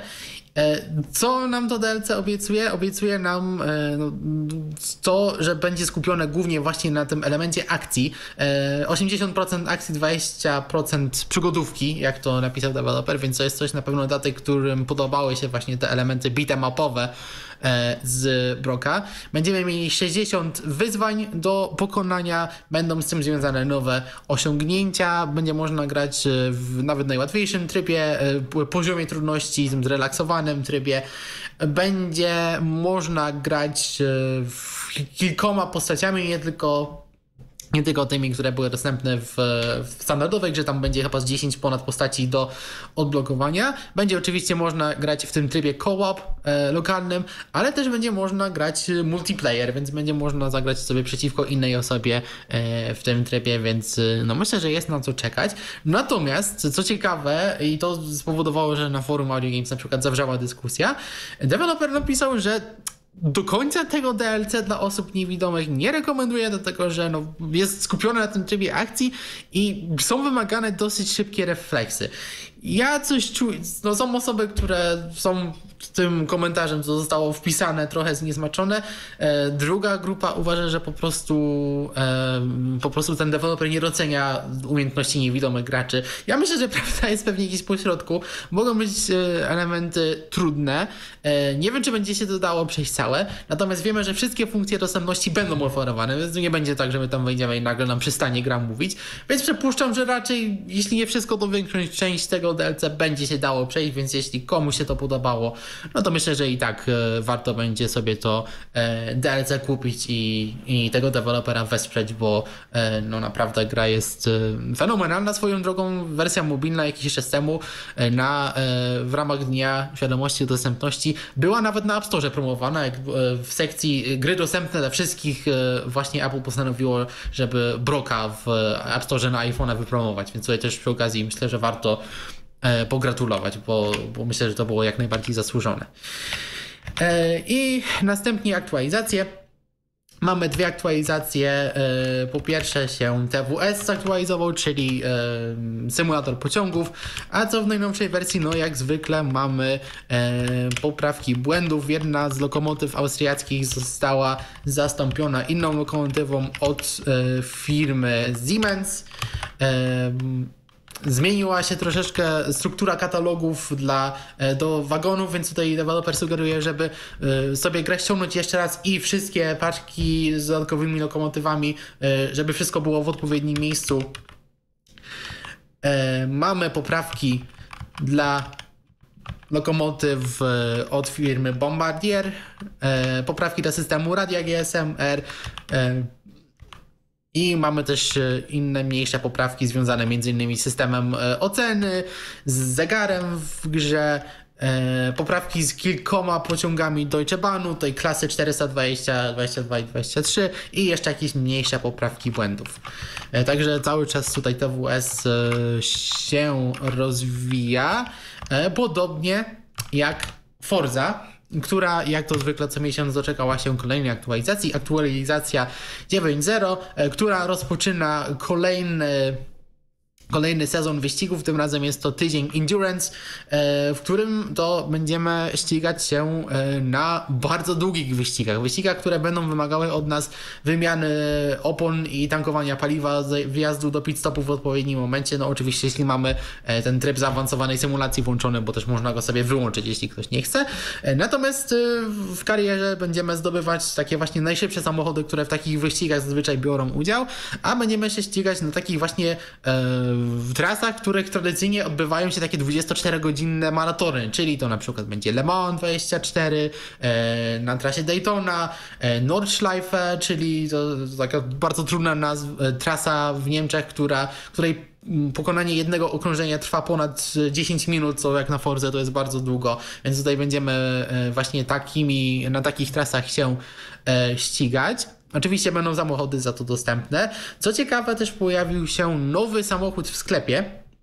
E, jest to Porsche bodajże 963 w zestawie z kombinezonem z logo Porsche, więc jeśli ktoś jest fanem tej firmy, to warto wejść do sklepu, zwłaszcza dlatego, że ten samochód do 19 e, czerwca jest darmowy. Można po prostu sobie wejść do sklepu i, i, go sobie dodać do naszego konta, a po tym czasie będzie kosztował 5 euro, czyli pewnie u nas 20 parę złotych.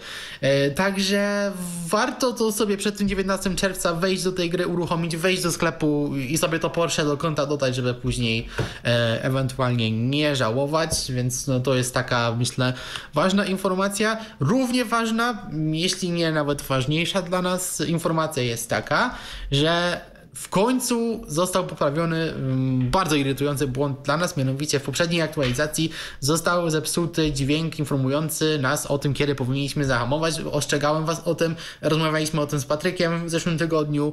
E, pytał mnie wtedy, czy już to zostało poprawione, no wtedy nie było, ale na szczęście, mimo to, że nie było, co ciekawe, o tym informacji w changelogu tym razem, e, mogę potwierdzić, sygnał hamowania został naprawiony, więc jeśli czekaliście na to, to można sobie do Forzy wrócić, dodajcie sobie to, for, to Porsche do, do swojej gry, e, no i jeśli chcecie się pościgać, no to już można.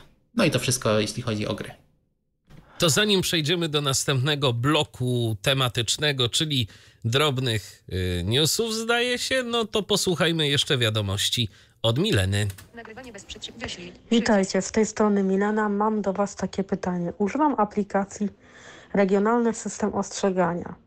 To jest taka aplikacja, w której pojawiają się różne komunikaty na temat jakichś wypadków drogowych i takich innych rzeczy. Oszustw, na przykład osób starszych. No i w tej aplikacji możesz sobie wybrać e, jest takie coś jak moje województwa i tam możesz sobie zaznaczyć, jakie to są twoje województwa. I ja mam tam zaznaczone swoje województwo, czyli lubuskie. Natomiast komunikaty mimo wszystko dostaję też z innych województw.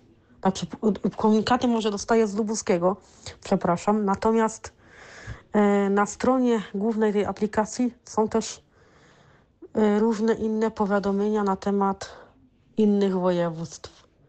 Gdzie uważam, jeżeli mam zaznaczone swoje województwo, no to powinny mi się pojawiać tam różne informacje na temat mojego województwa tylko, a nie innych.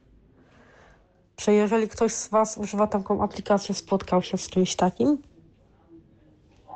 Wyślij przycisk.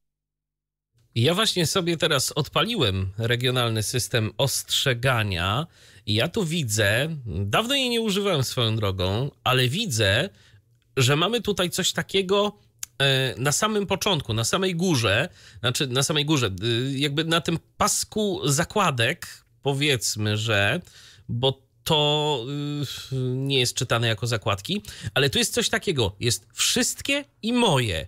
Może tu o to chodzi, że y, trzeba się przełączyć między tym wszystkie, tak, a moje i może wystarczy to zaznaczyć, y, to moje, i to rozwiąże problem. A w przeciwnym wypadku, jeżeli to nie działa, no to, to chyba jest to po prostu błąd, który trzeba by było zgłosić y, twórcom. To w takim razie przechodzimy do drobnych newsów. I tu chyba pierwsze newsy, nie wiem czy jedyne nawet, y, ma Paulina. Tylko Pauliny nie ma, chyba. Tak mi się wydaje.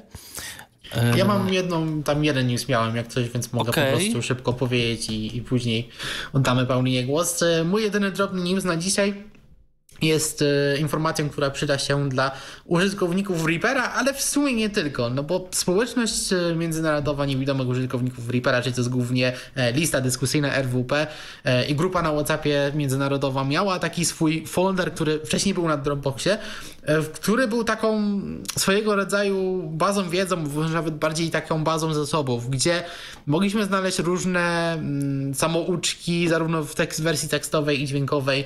Było tam też dużo na przykład przykład e, paczek presetów do wtyczek, więc mogliśmy sobie na przykład, jeśli mieliśmy jakąś niedostępną wtyczkę, załadować taki plik z presetami i wtedy na tej liście wyborów presetów Reapera e, wszystkie no, presety w takiej wtyczce były dostępne. Opisy wyglądu różnych interfejsów audio czy innego sprzętu, na przykład tej maszyny e, perkusyjnej Yamaha, która jest udźwiękowiona ostatnio, e, to robiło furorę. No dużo takich rzeczy, e, gdzie można pobrać darmowe instrumenty różne, no, tego typu zasoby tam się Natomiast ten folder sobie trochę ro, rósł, chyba miał jakieś 3 albo 4 giga ostatnio, więc to już stanowiło problem dla ludzi, którzy nie mieli płatnego Dropboxa. E, więc szukano sposobu, jak się tym uporać, no i uporano się w taki sposób, że e, to, ten zasób przeniósł się do internetu, e, dzięki czemu jest dużo łatwiejszy w, w organizacji. Możecie go teraz znaleźć, będzie link w komentarzu, ale też mogę podać, myślę, adres. E, możecie sobie wejść na hoard.reaperaccessibility.com hoard.reaperaccessibility.com i tam znajdziecie wszystkie, wszystkie te zasoby. W wielu miejscach od razu mamy dokumentację wyświetloną. E, jeśli chcecie sobie wszystko ściągnąć naraz, e, na każdej stronie też są linki, żeby pobrać całą zawartość jako plik zip.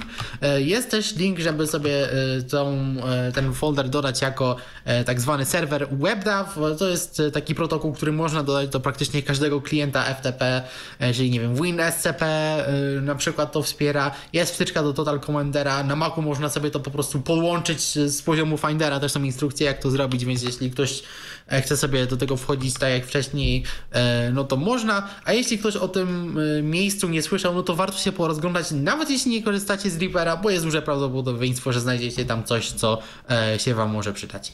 A my odbieramy kolejny okay. telefon. Chyba, że Paulina już jest, ale chyba nie ma. To odbierzmy telefon i poczekajmy. Kogo witamy po drugiej stronie? Witam, Mateusz z tej strony. Cześć Mateuszu. I ja do Was przychodzę z, mm, myślę, że nie każdy o tym wie, raczej, że mm, na temat programu, mm, który służy do e, aktualizacji, włączania, wyłączania różnych modów do gier, czyli e, mówię tutaj o Vortexie, bo Nexus, ta strona nie grzeszy dostępnością, przynajmniej dla mnie, tak bym powiedział. No i stwierdziłem, dowiedziałem się, że no skoro jest ten program, to spróbuję zobaczyć, jak to działa, czy ten program jest w ogóle jakkolwiek dostępny.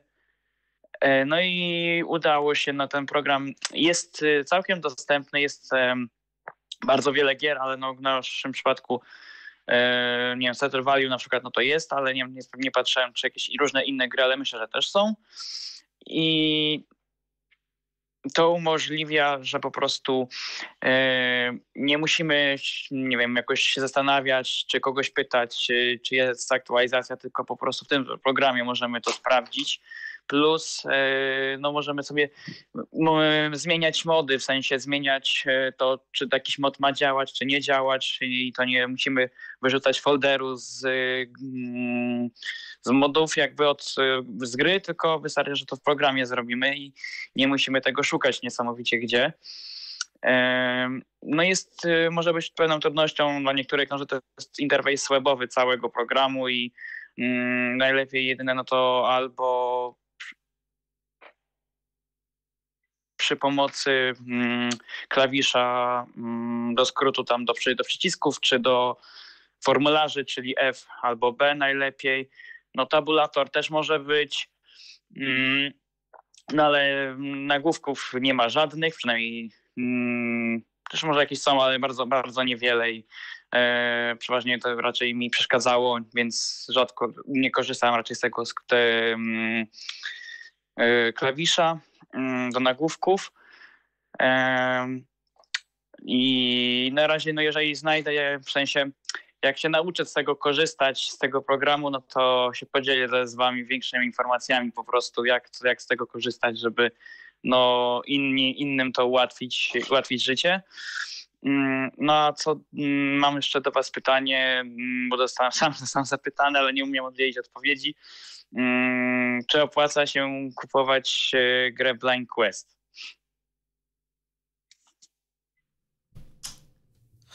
Ale co to znaczy?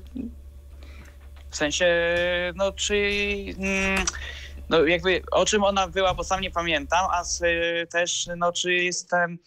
Yy, mnie tu jeść. No czy ktoś, któreś z, was, któreś z was z nią grało, żeby ją jakoś polecić komuś innemu? No. Zdaje się, że jest podcast o Blind Questie. Jest podcast? A, no to o, to dobrze, to, to, ze, to, to zerknę, bo jak jest, to, jest... to, to dużo ułatwia. To jest specyficzna gra, to jest generalnie głównie taki point and click głównie, taka trochę gra przygodowa z jakimiś elementami RPG lekkimi.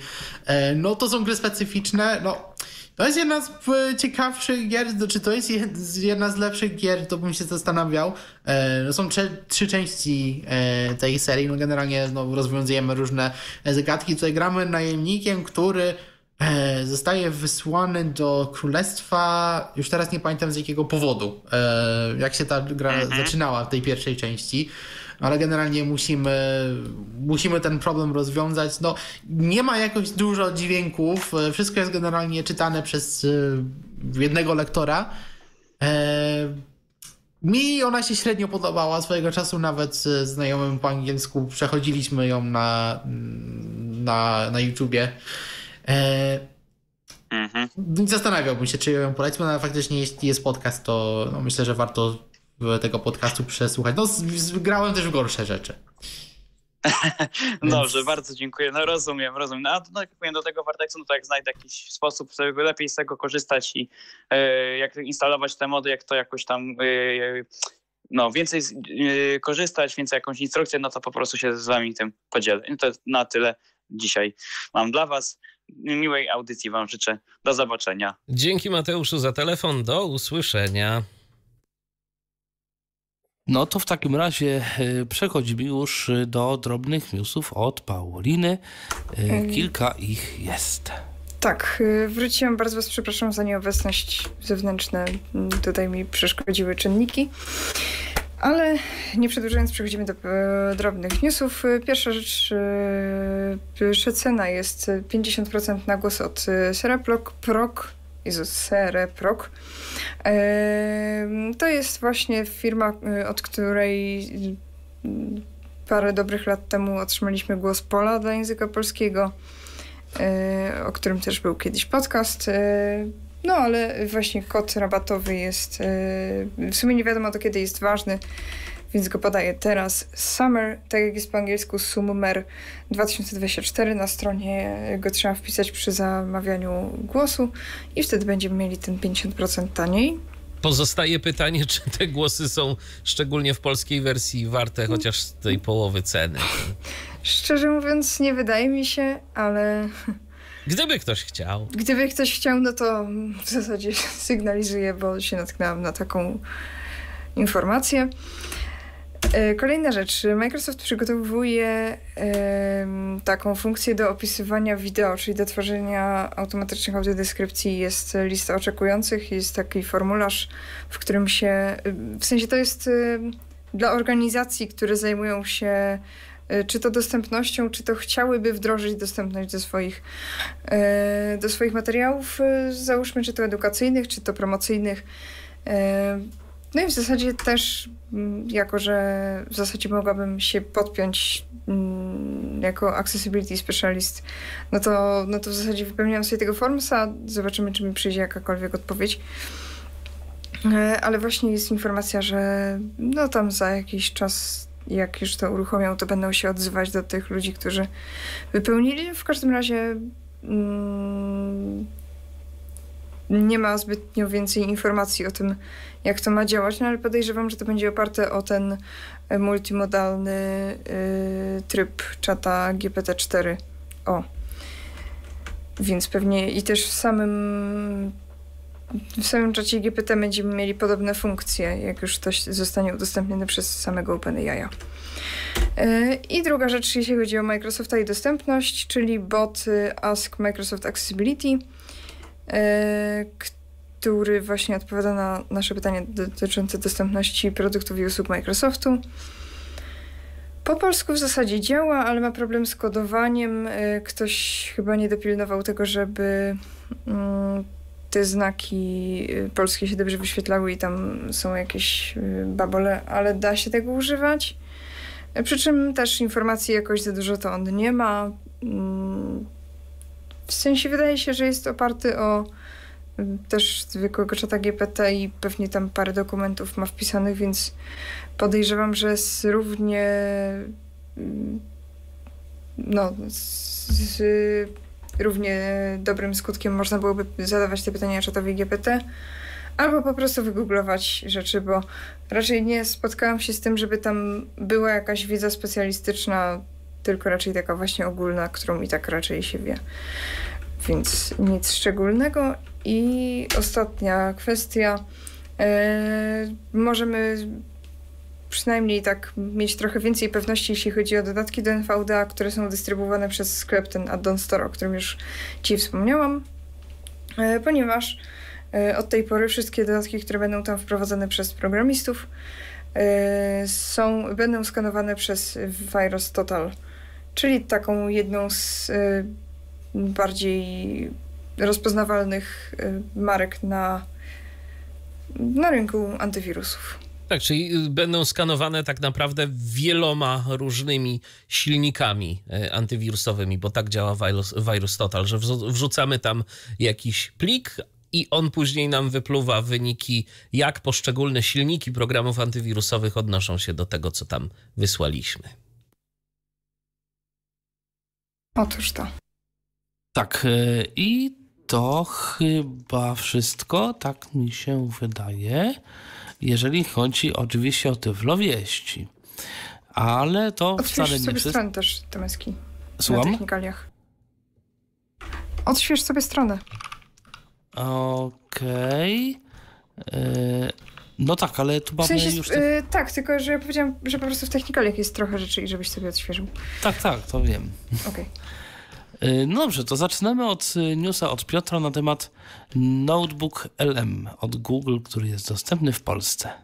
Tak, może zaczniemy od tego, co to w ogóle jest. To jest coś, co zostało zaprezentowane chyba już będzie rok temu, no, kilka miesięcy na pewno. I to było jedno z pierwszych zastosowań Google, jak, na jakie Google wpadło, do których można by wykorzystać modele, duże modele językowe. Zastosowanie, żeby nie było bardzo ciekawe. W dużym skrócie, co to jest ten Notebook LM?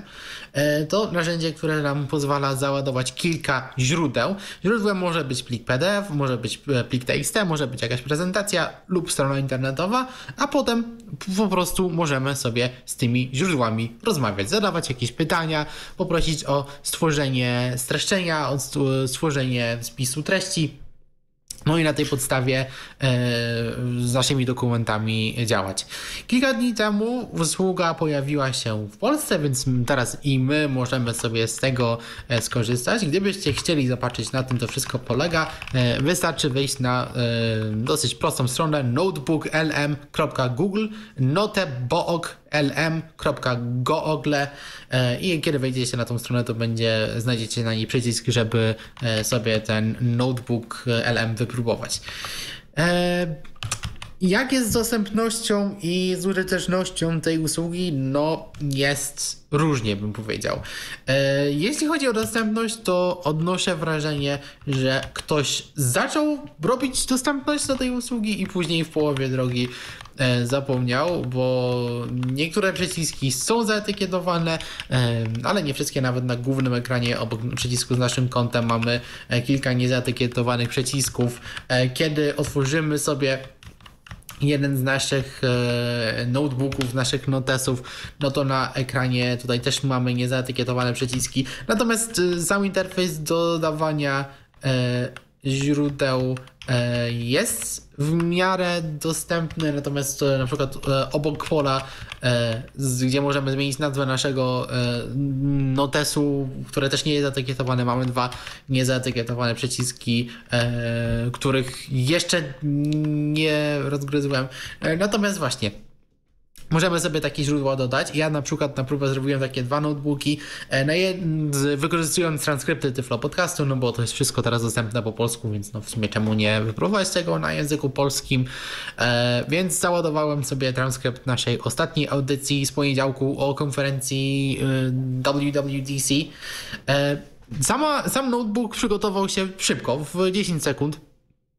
Kiedy już jakieś źródło załadujemy, to już tak naprawdę od początku możemy albo klikać w te przyciski, które nam pozwalają e, przygotować sobie streszczenie lub przeglądać przygotowane pytania, bo e, notebook będzie nam kilka takich e, pytań przygotował. Co ciekawe, to działa lepiej na Macu. To znaczy, to jest wyświetlane w polu, listy kiedy my dojdziemy do tego pola listy, to możemy strzałkami sobie te sugestie wybrać. I co ja odkryłem?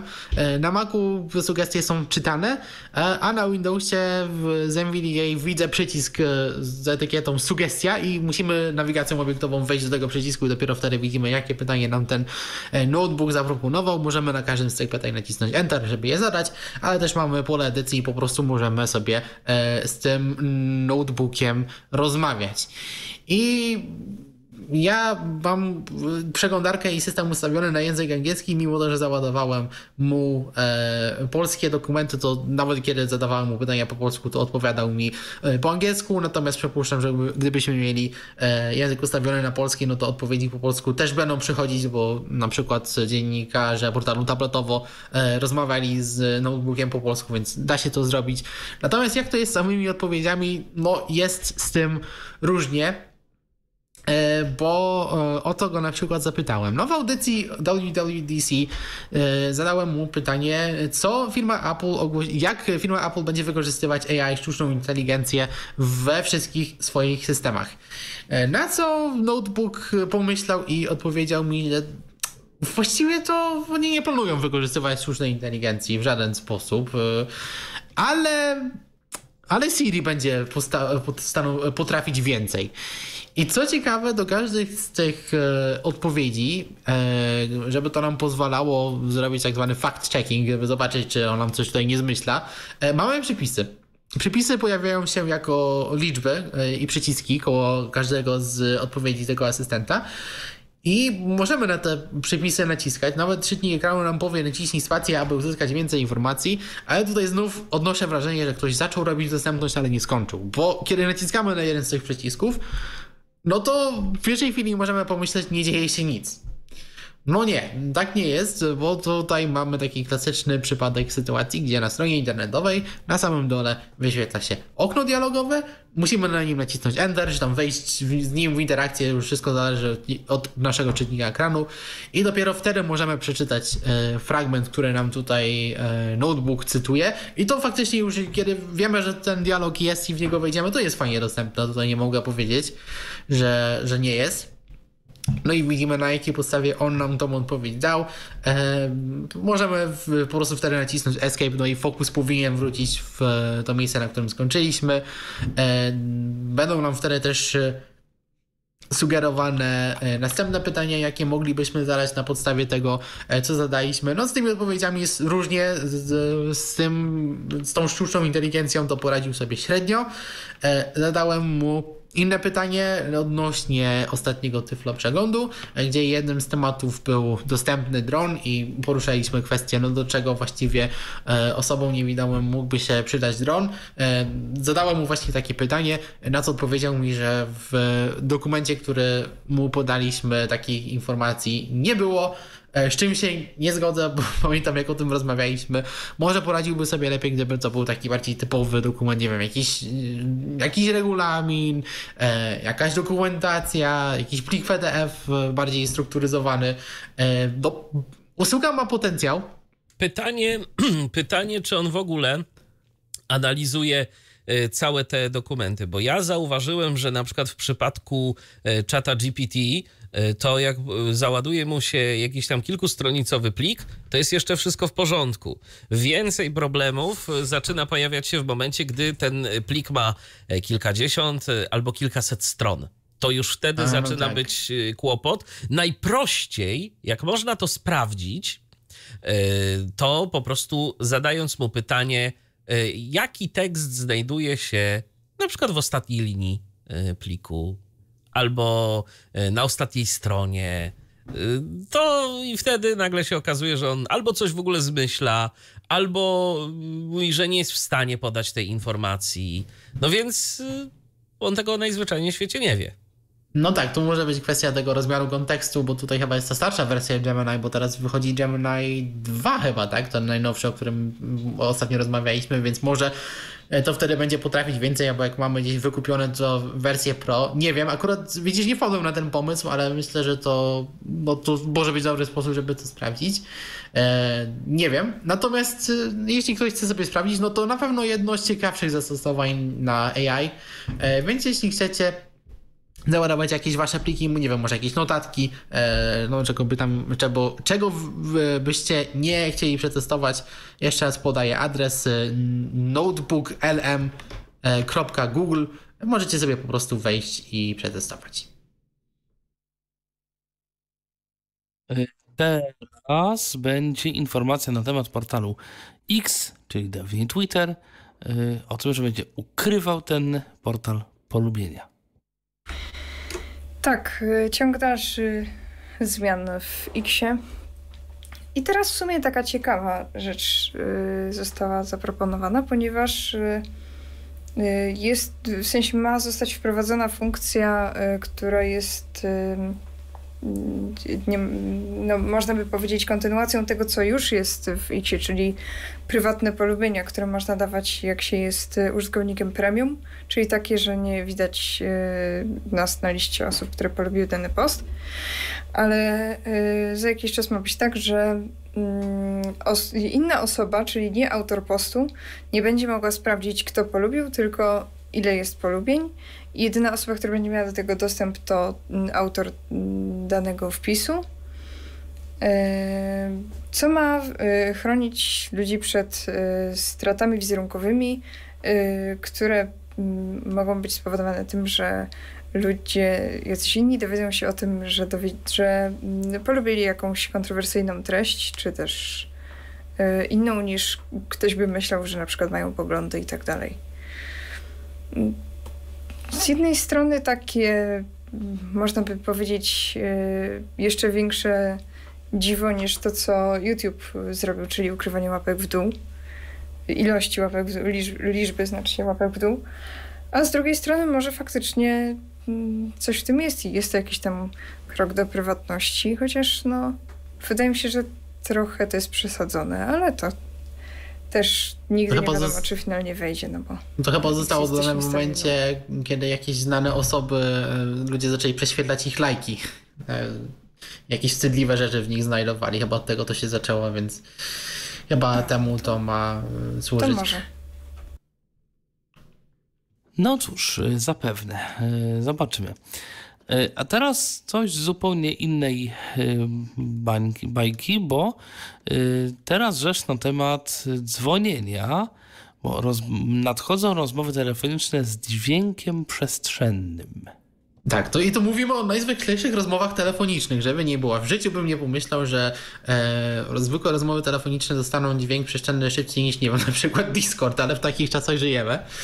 E, bo oto firma Nokia, która przypominam cały czas jest na rynku, ale teraz właśnie skupia się głównie na takich usługach B2B, czyli właśnie tutaj e, te wszystkie stacje bazowe, no te, e, te wieże, które nam dają e, sygnał w naszych telefonach, no oni właśnie tym się zajmują.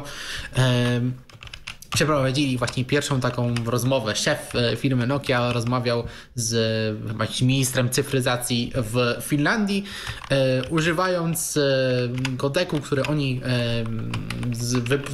stworzyli ze swoimi partnerami. Nokia tutaj była głównym partnerem w tej sprawie.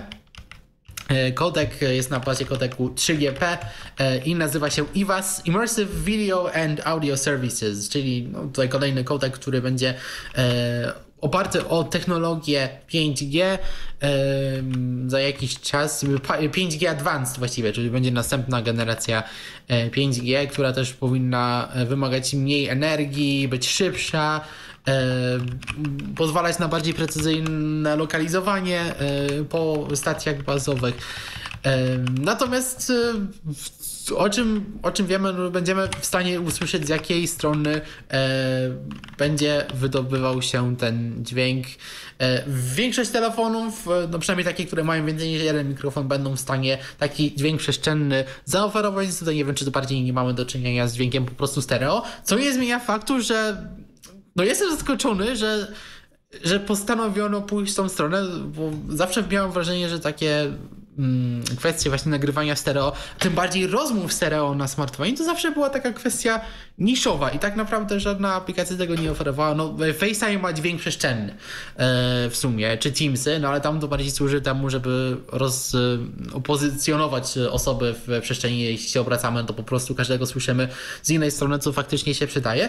No ale tutaj e, stwierdzono, że fajnie byłoby pokazać naszemu rozmówcy, jak brzmi nasze otoczenie, więc tutaj zamiast jakiegoś ostrego otrzymania, żeby właśnie pokazać, jak jak to wszystko brzmi, e, to ma też być przydatne do na przykład takich zastosowań jak e, metaversum, więc tutaj cały czas mówimy o jakiejś rozszerzonej rzeczywistości, e, jakiejś komunikacji takiej, że mamy właśnie jakiś obraz pewnie 360 stopni, no i do tego też taki dźwięk, który też pozwoliłby nam się w tym mm, miejscu bardziej zanurzyć. Ja się nie pogniewam, jeśli faktycznie będziemy mogli wykonywać rozmowy telefoniczne w stereo, natomiast jak tutaj podaje podają portale, no pewnie jeszcze minie kilka lat zanim to wszystko zostanie zaimplementowane, no bo e, no kodek już jakiś jest, e, natomiast e, no, 5G Advanced jeszcze musi zostać zatwierdzone, musi zostać zaimplementowane przez no właśnie producentów sprzętu, potem przez operatorów, przez producentów smartfonów, więc pewnie jeszcze parę lat minie, zanim będziemy mogli z tego korzystać. Natomiast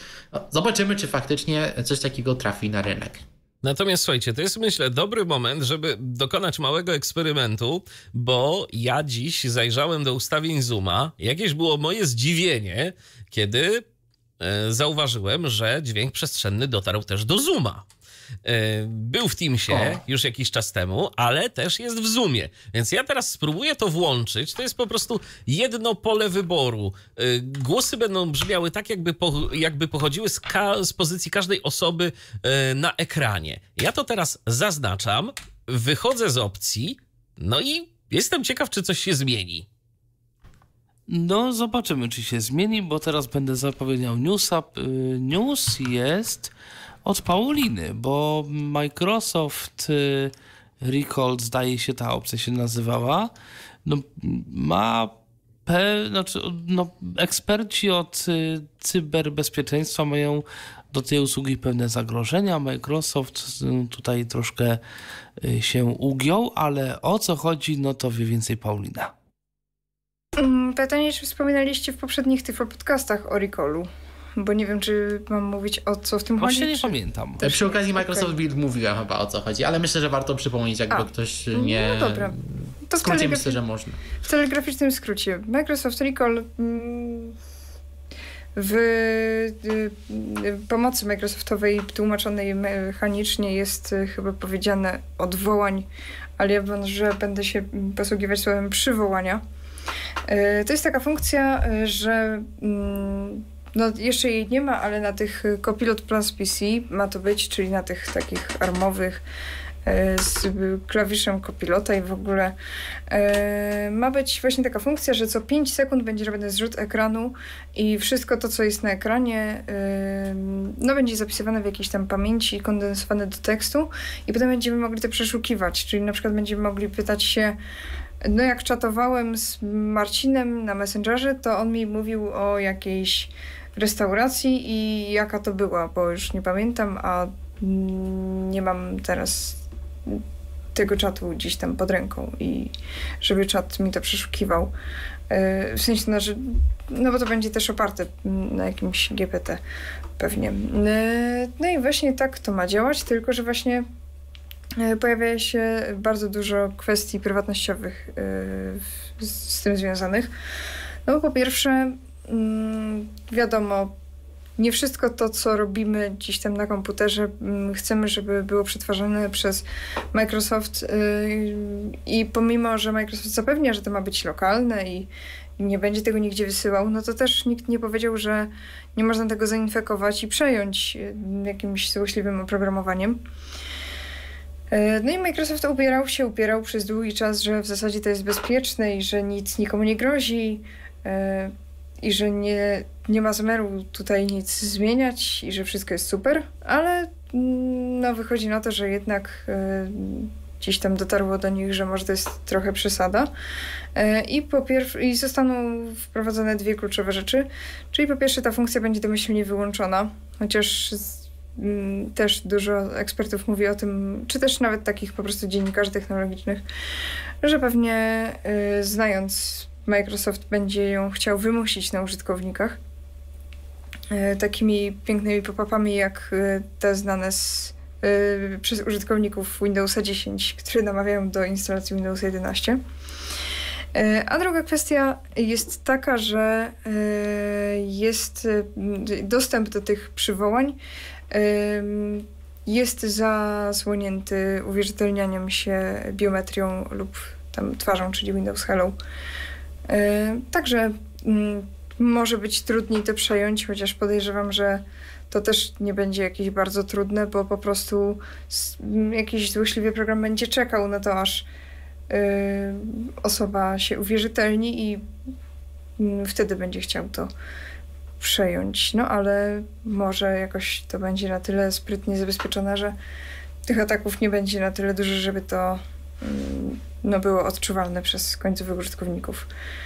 No, jeszcze nie wiadomo, wszak mm, jeszcze Copilot nie ma u nas takich zaawansowanych funkcji, ale pewnie na przestrzeni tygodni i miesięcy będziemy się dowiadywać coraz to nowych rzeczy.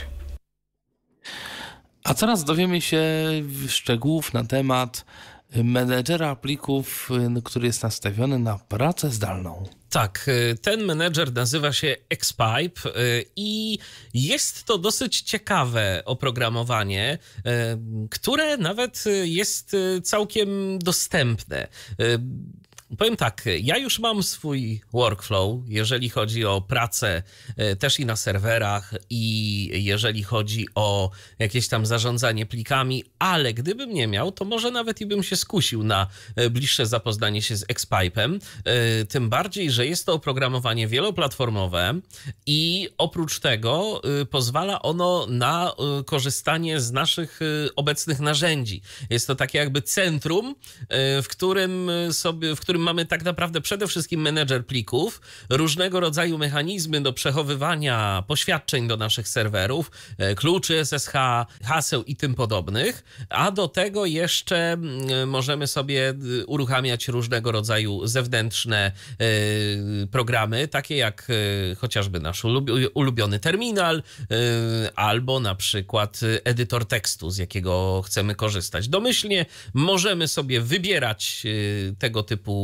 programy. Możemy też e, wskazać nasze własne, jeżeli e, mamy na to ochotę. E, natomiast sam menedżer plików jest dostępny, jest czytany. E, kiedy, bo przede wszystkim to właśnie ten menedżer plików jest takim sercem tego Xpipe'a. Możemy sobie tam otworzyć różne e, foldery, no i możemy mm, z nich korzystać. Możemy mm, otwierać foldery, otwierać katalogi, zarówno lokalne, jak i zdalne. Możemy się łączyć z różnymi serwerami, wykonywać e, tam operacje na tych plikach.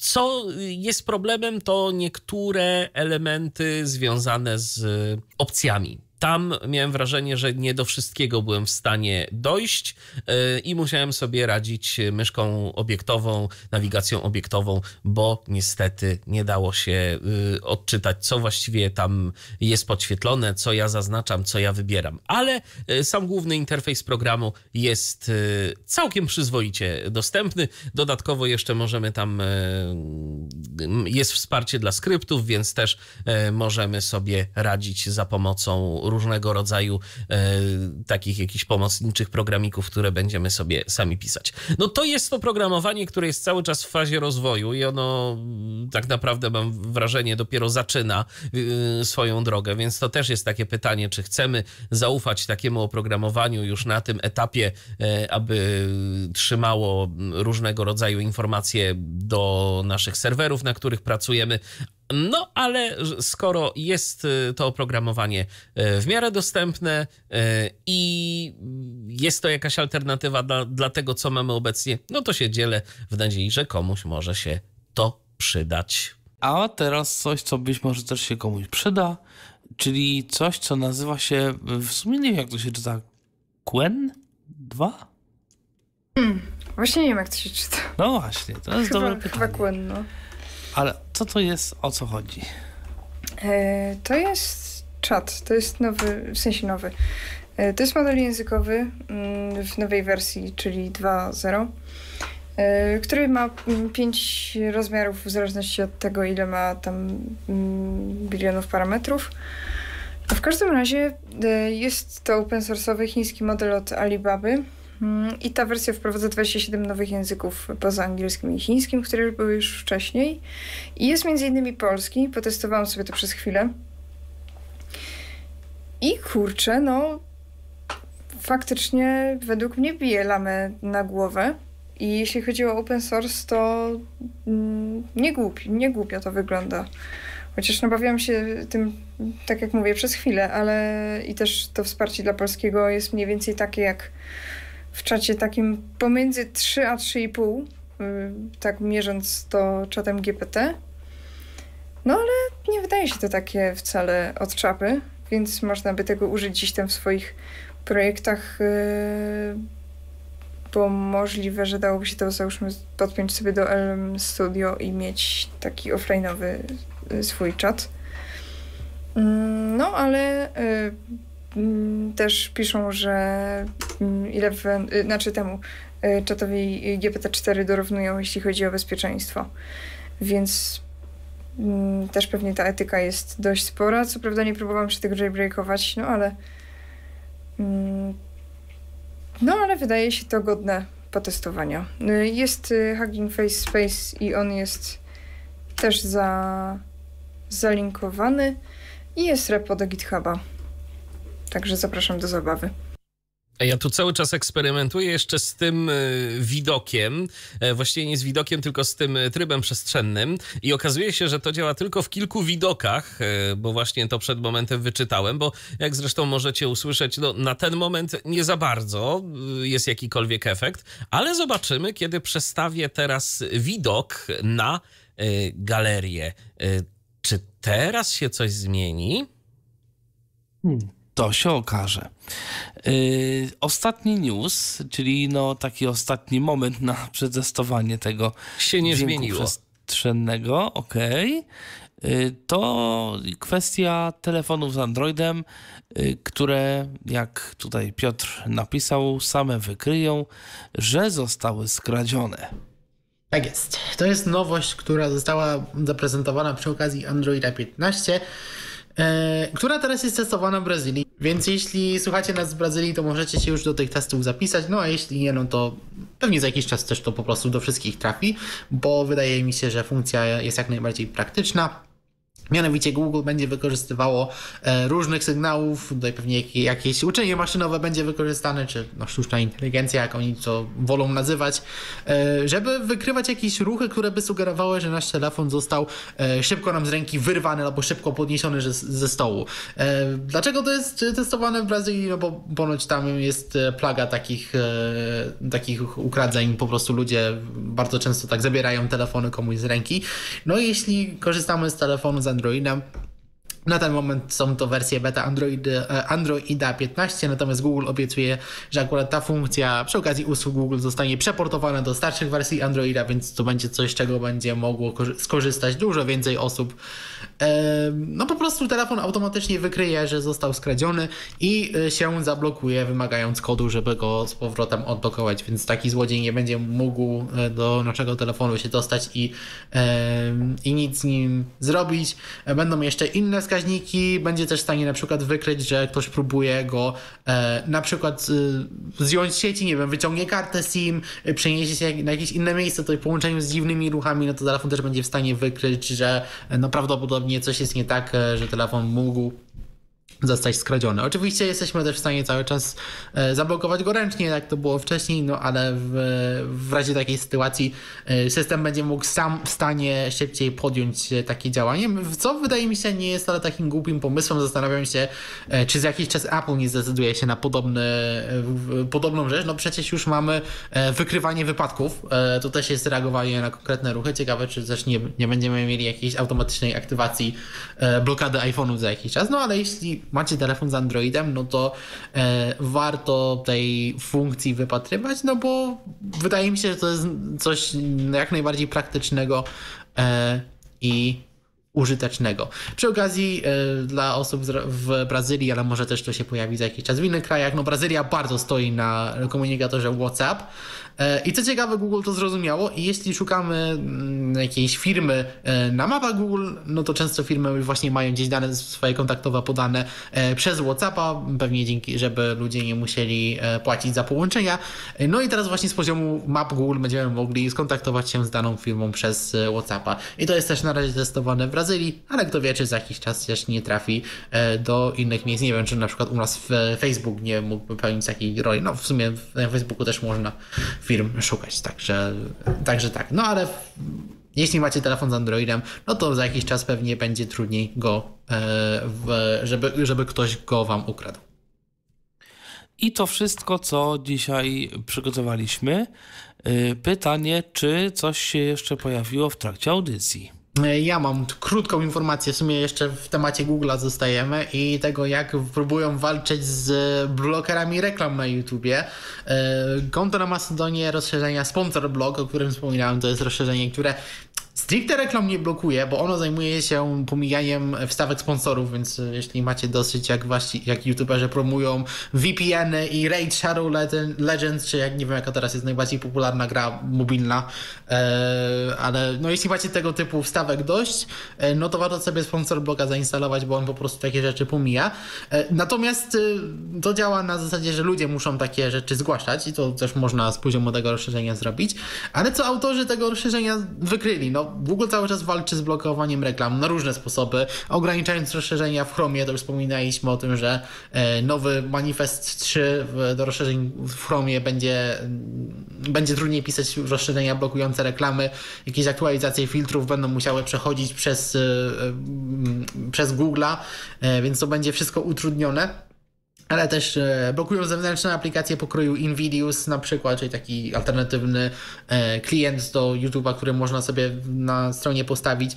Ale no, zastanawiali się, jak jeszcze zablokować reklamy, no i wpadli na pomysł, który no, raczej będzie trudno zablokować, a mianowicie po prostu e, na próbę dla niektórych osób reklamy po prostu, po prostu są wstrzykiwane do strumienia wideo, więc po prostu film sobie leci, no i w pewnym momencie e, nam ta reklama zaczyna lecieć, ale ona po prostu jest częścią e, tego materiału wideo, który wysyła do nas e, YouTube ze swojego serwera.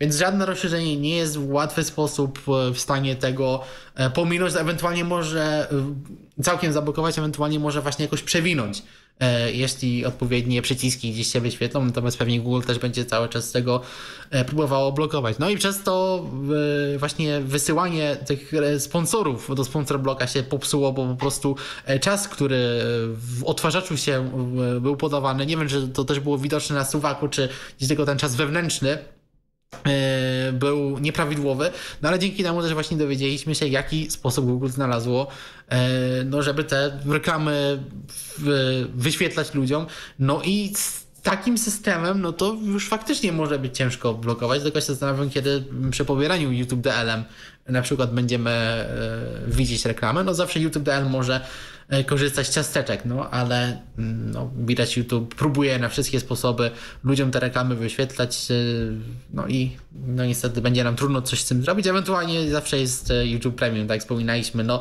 e, kusi coraz bardziej, mimo to, że na przykład dostępność aplikacji YouTube na iPhone'a się z każdym dniem pogarsza. A tymczasem mamy tu jeszcze dwie wiadomości od Mileny. To jeszcze raz. Ja, Milena, faktycznie zaznaczyłam moje województwa, bo były zaznaczone wszystkie. Jak zaznaczyłam moje województwa, no to teraz faktycznie widzę wszystkie komunikaty z mojego województwa. Jeszcze raz dziękuję, pozdrawiam. Wyślij. Przycisk.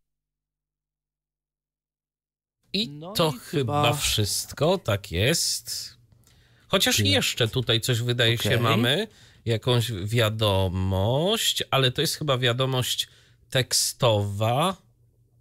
O, yy, prośba od Mileny, żeby odsłuchać jej wiadomość. No to odsłuchana. Tak jest.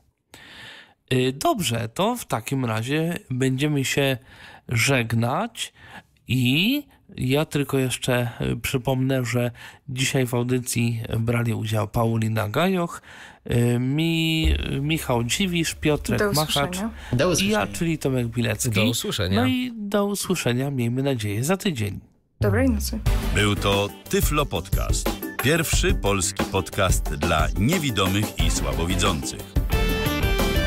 Program współfinansowany ze środków Państwowego Funduszu Rehabilitacji Osób Niepełnosprawnych.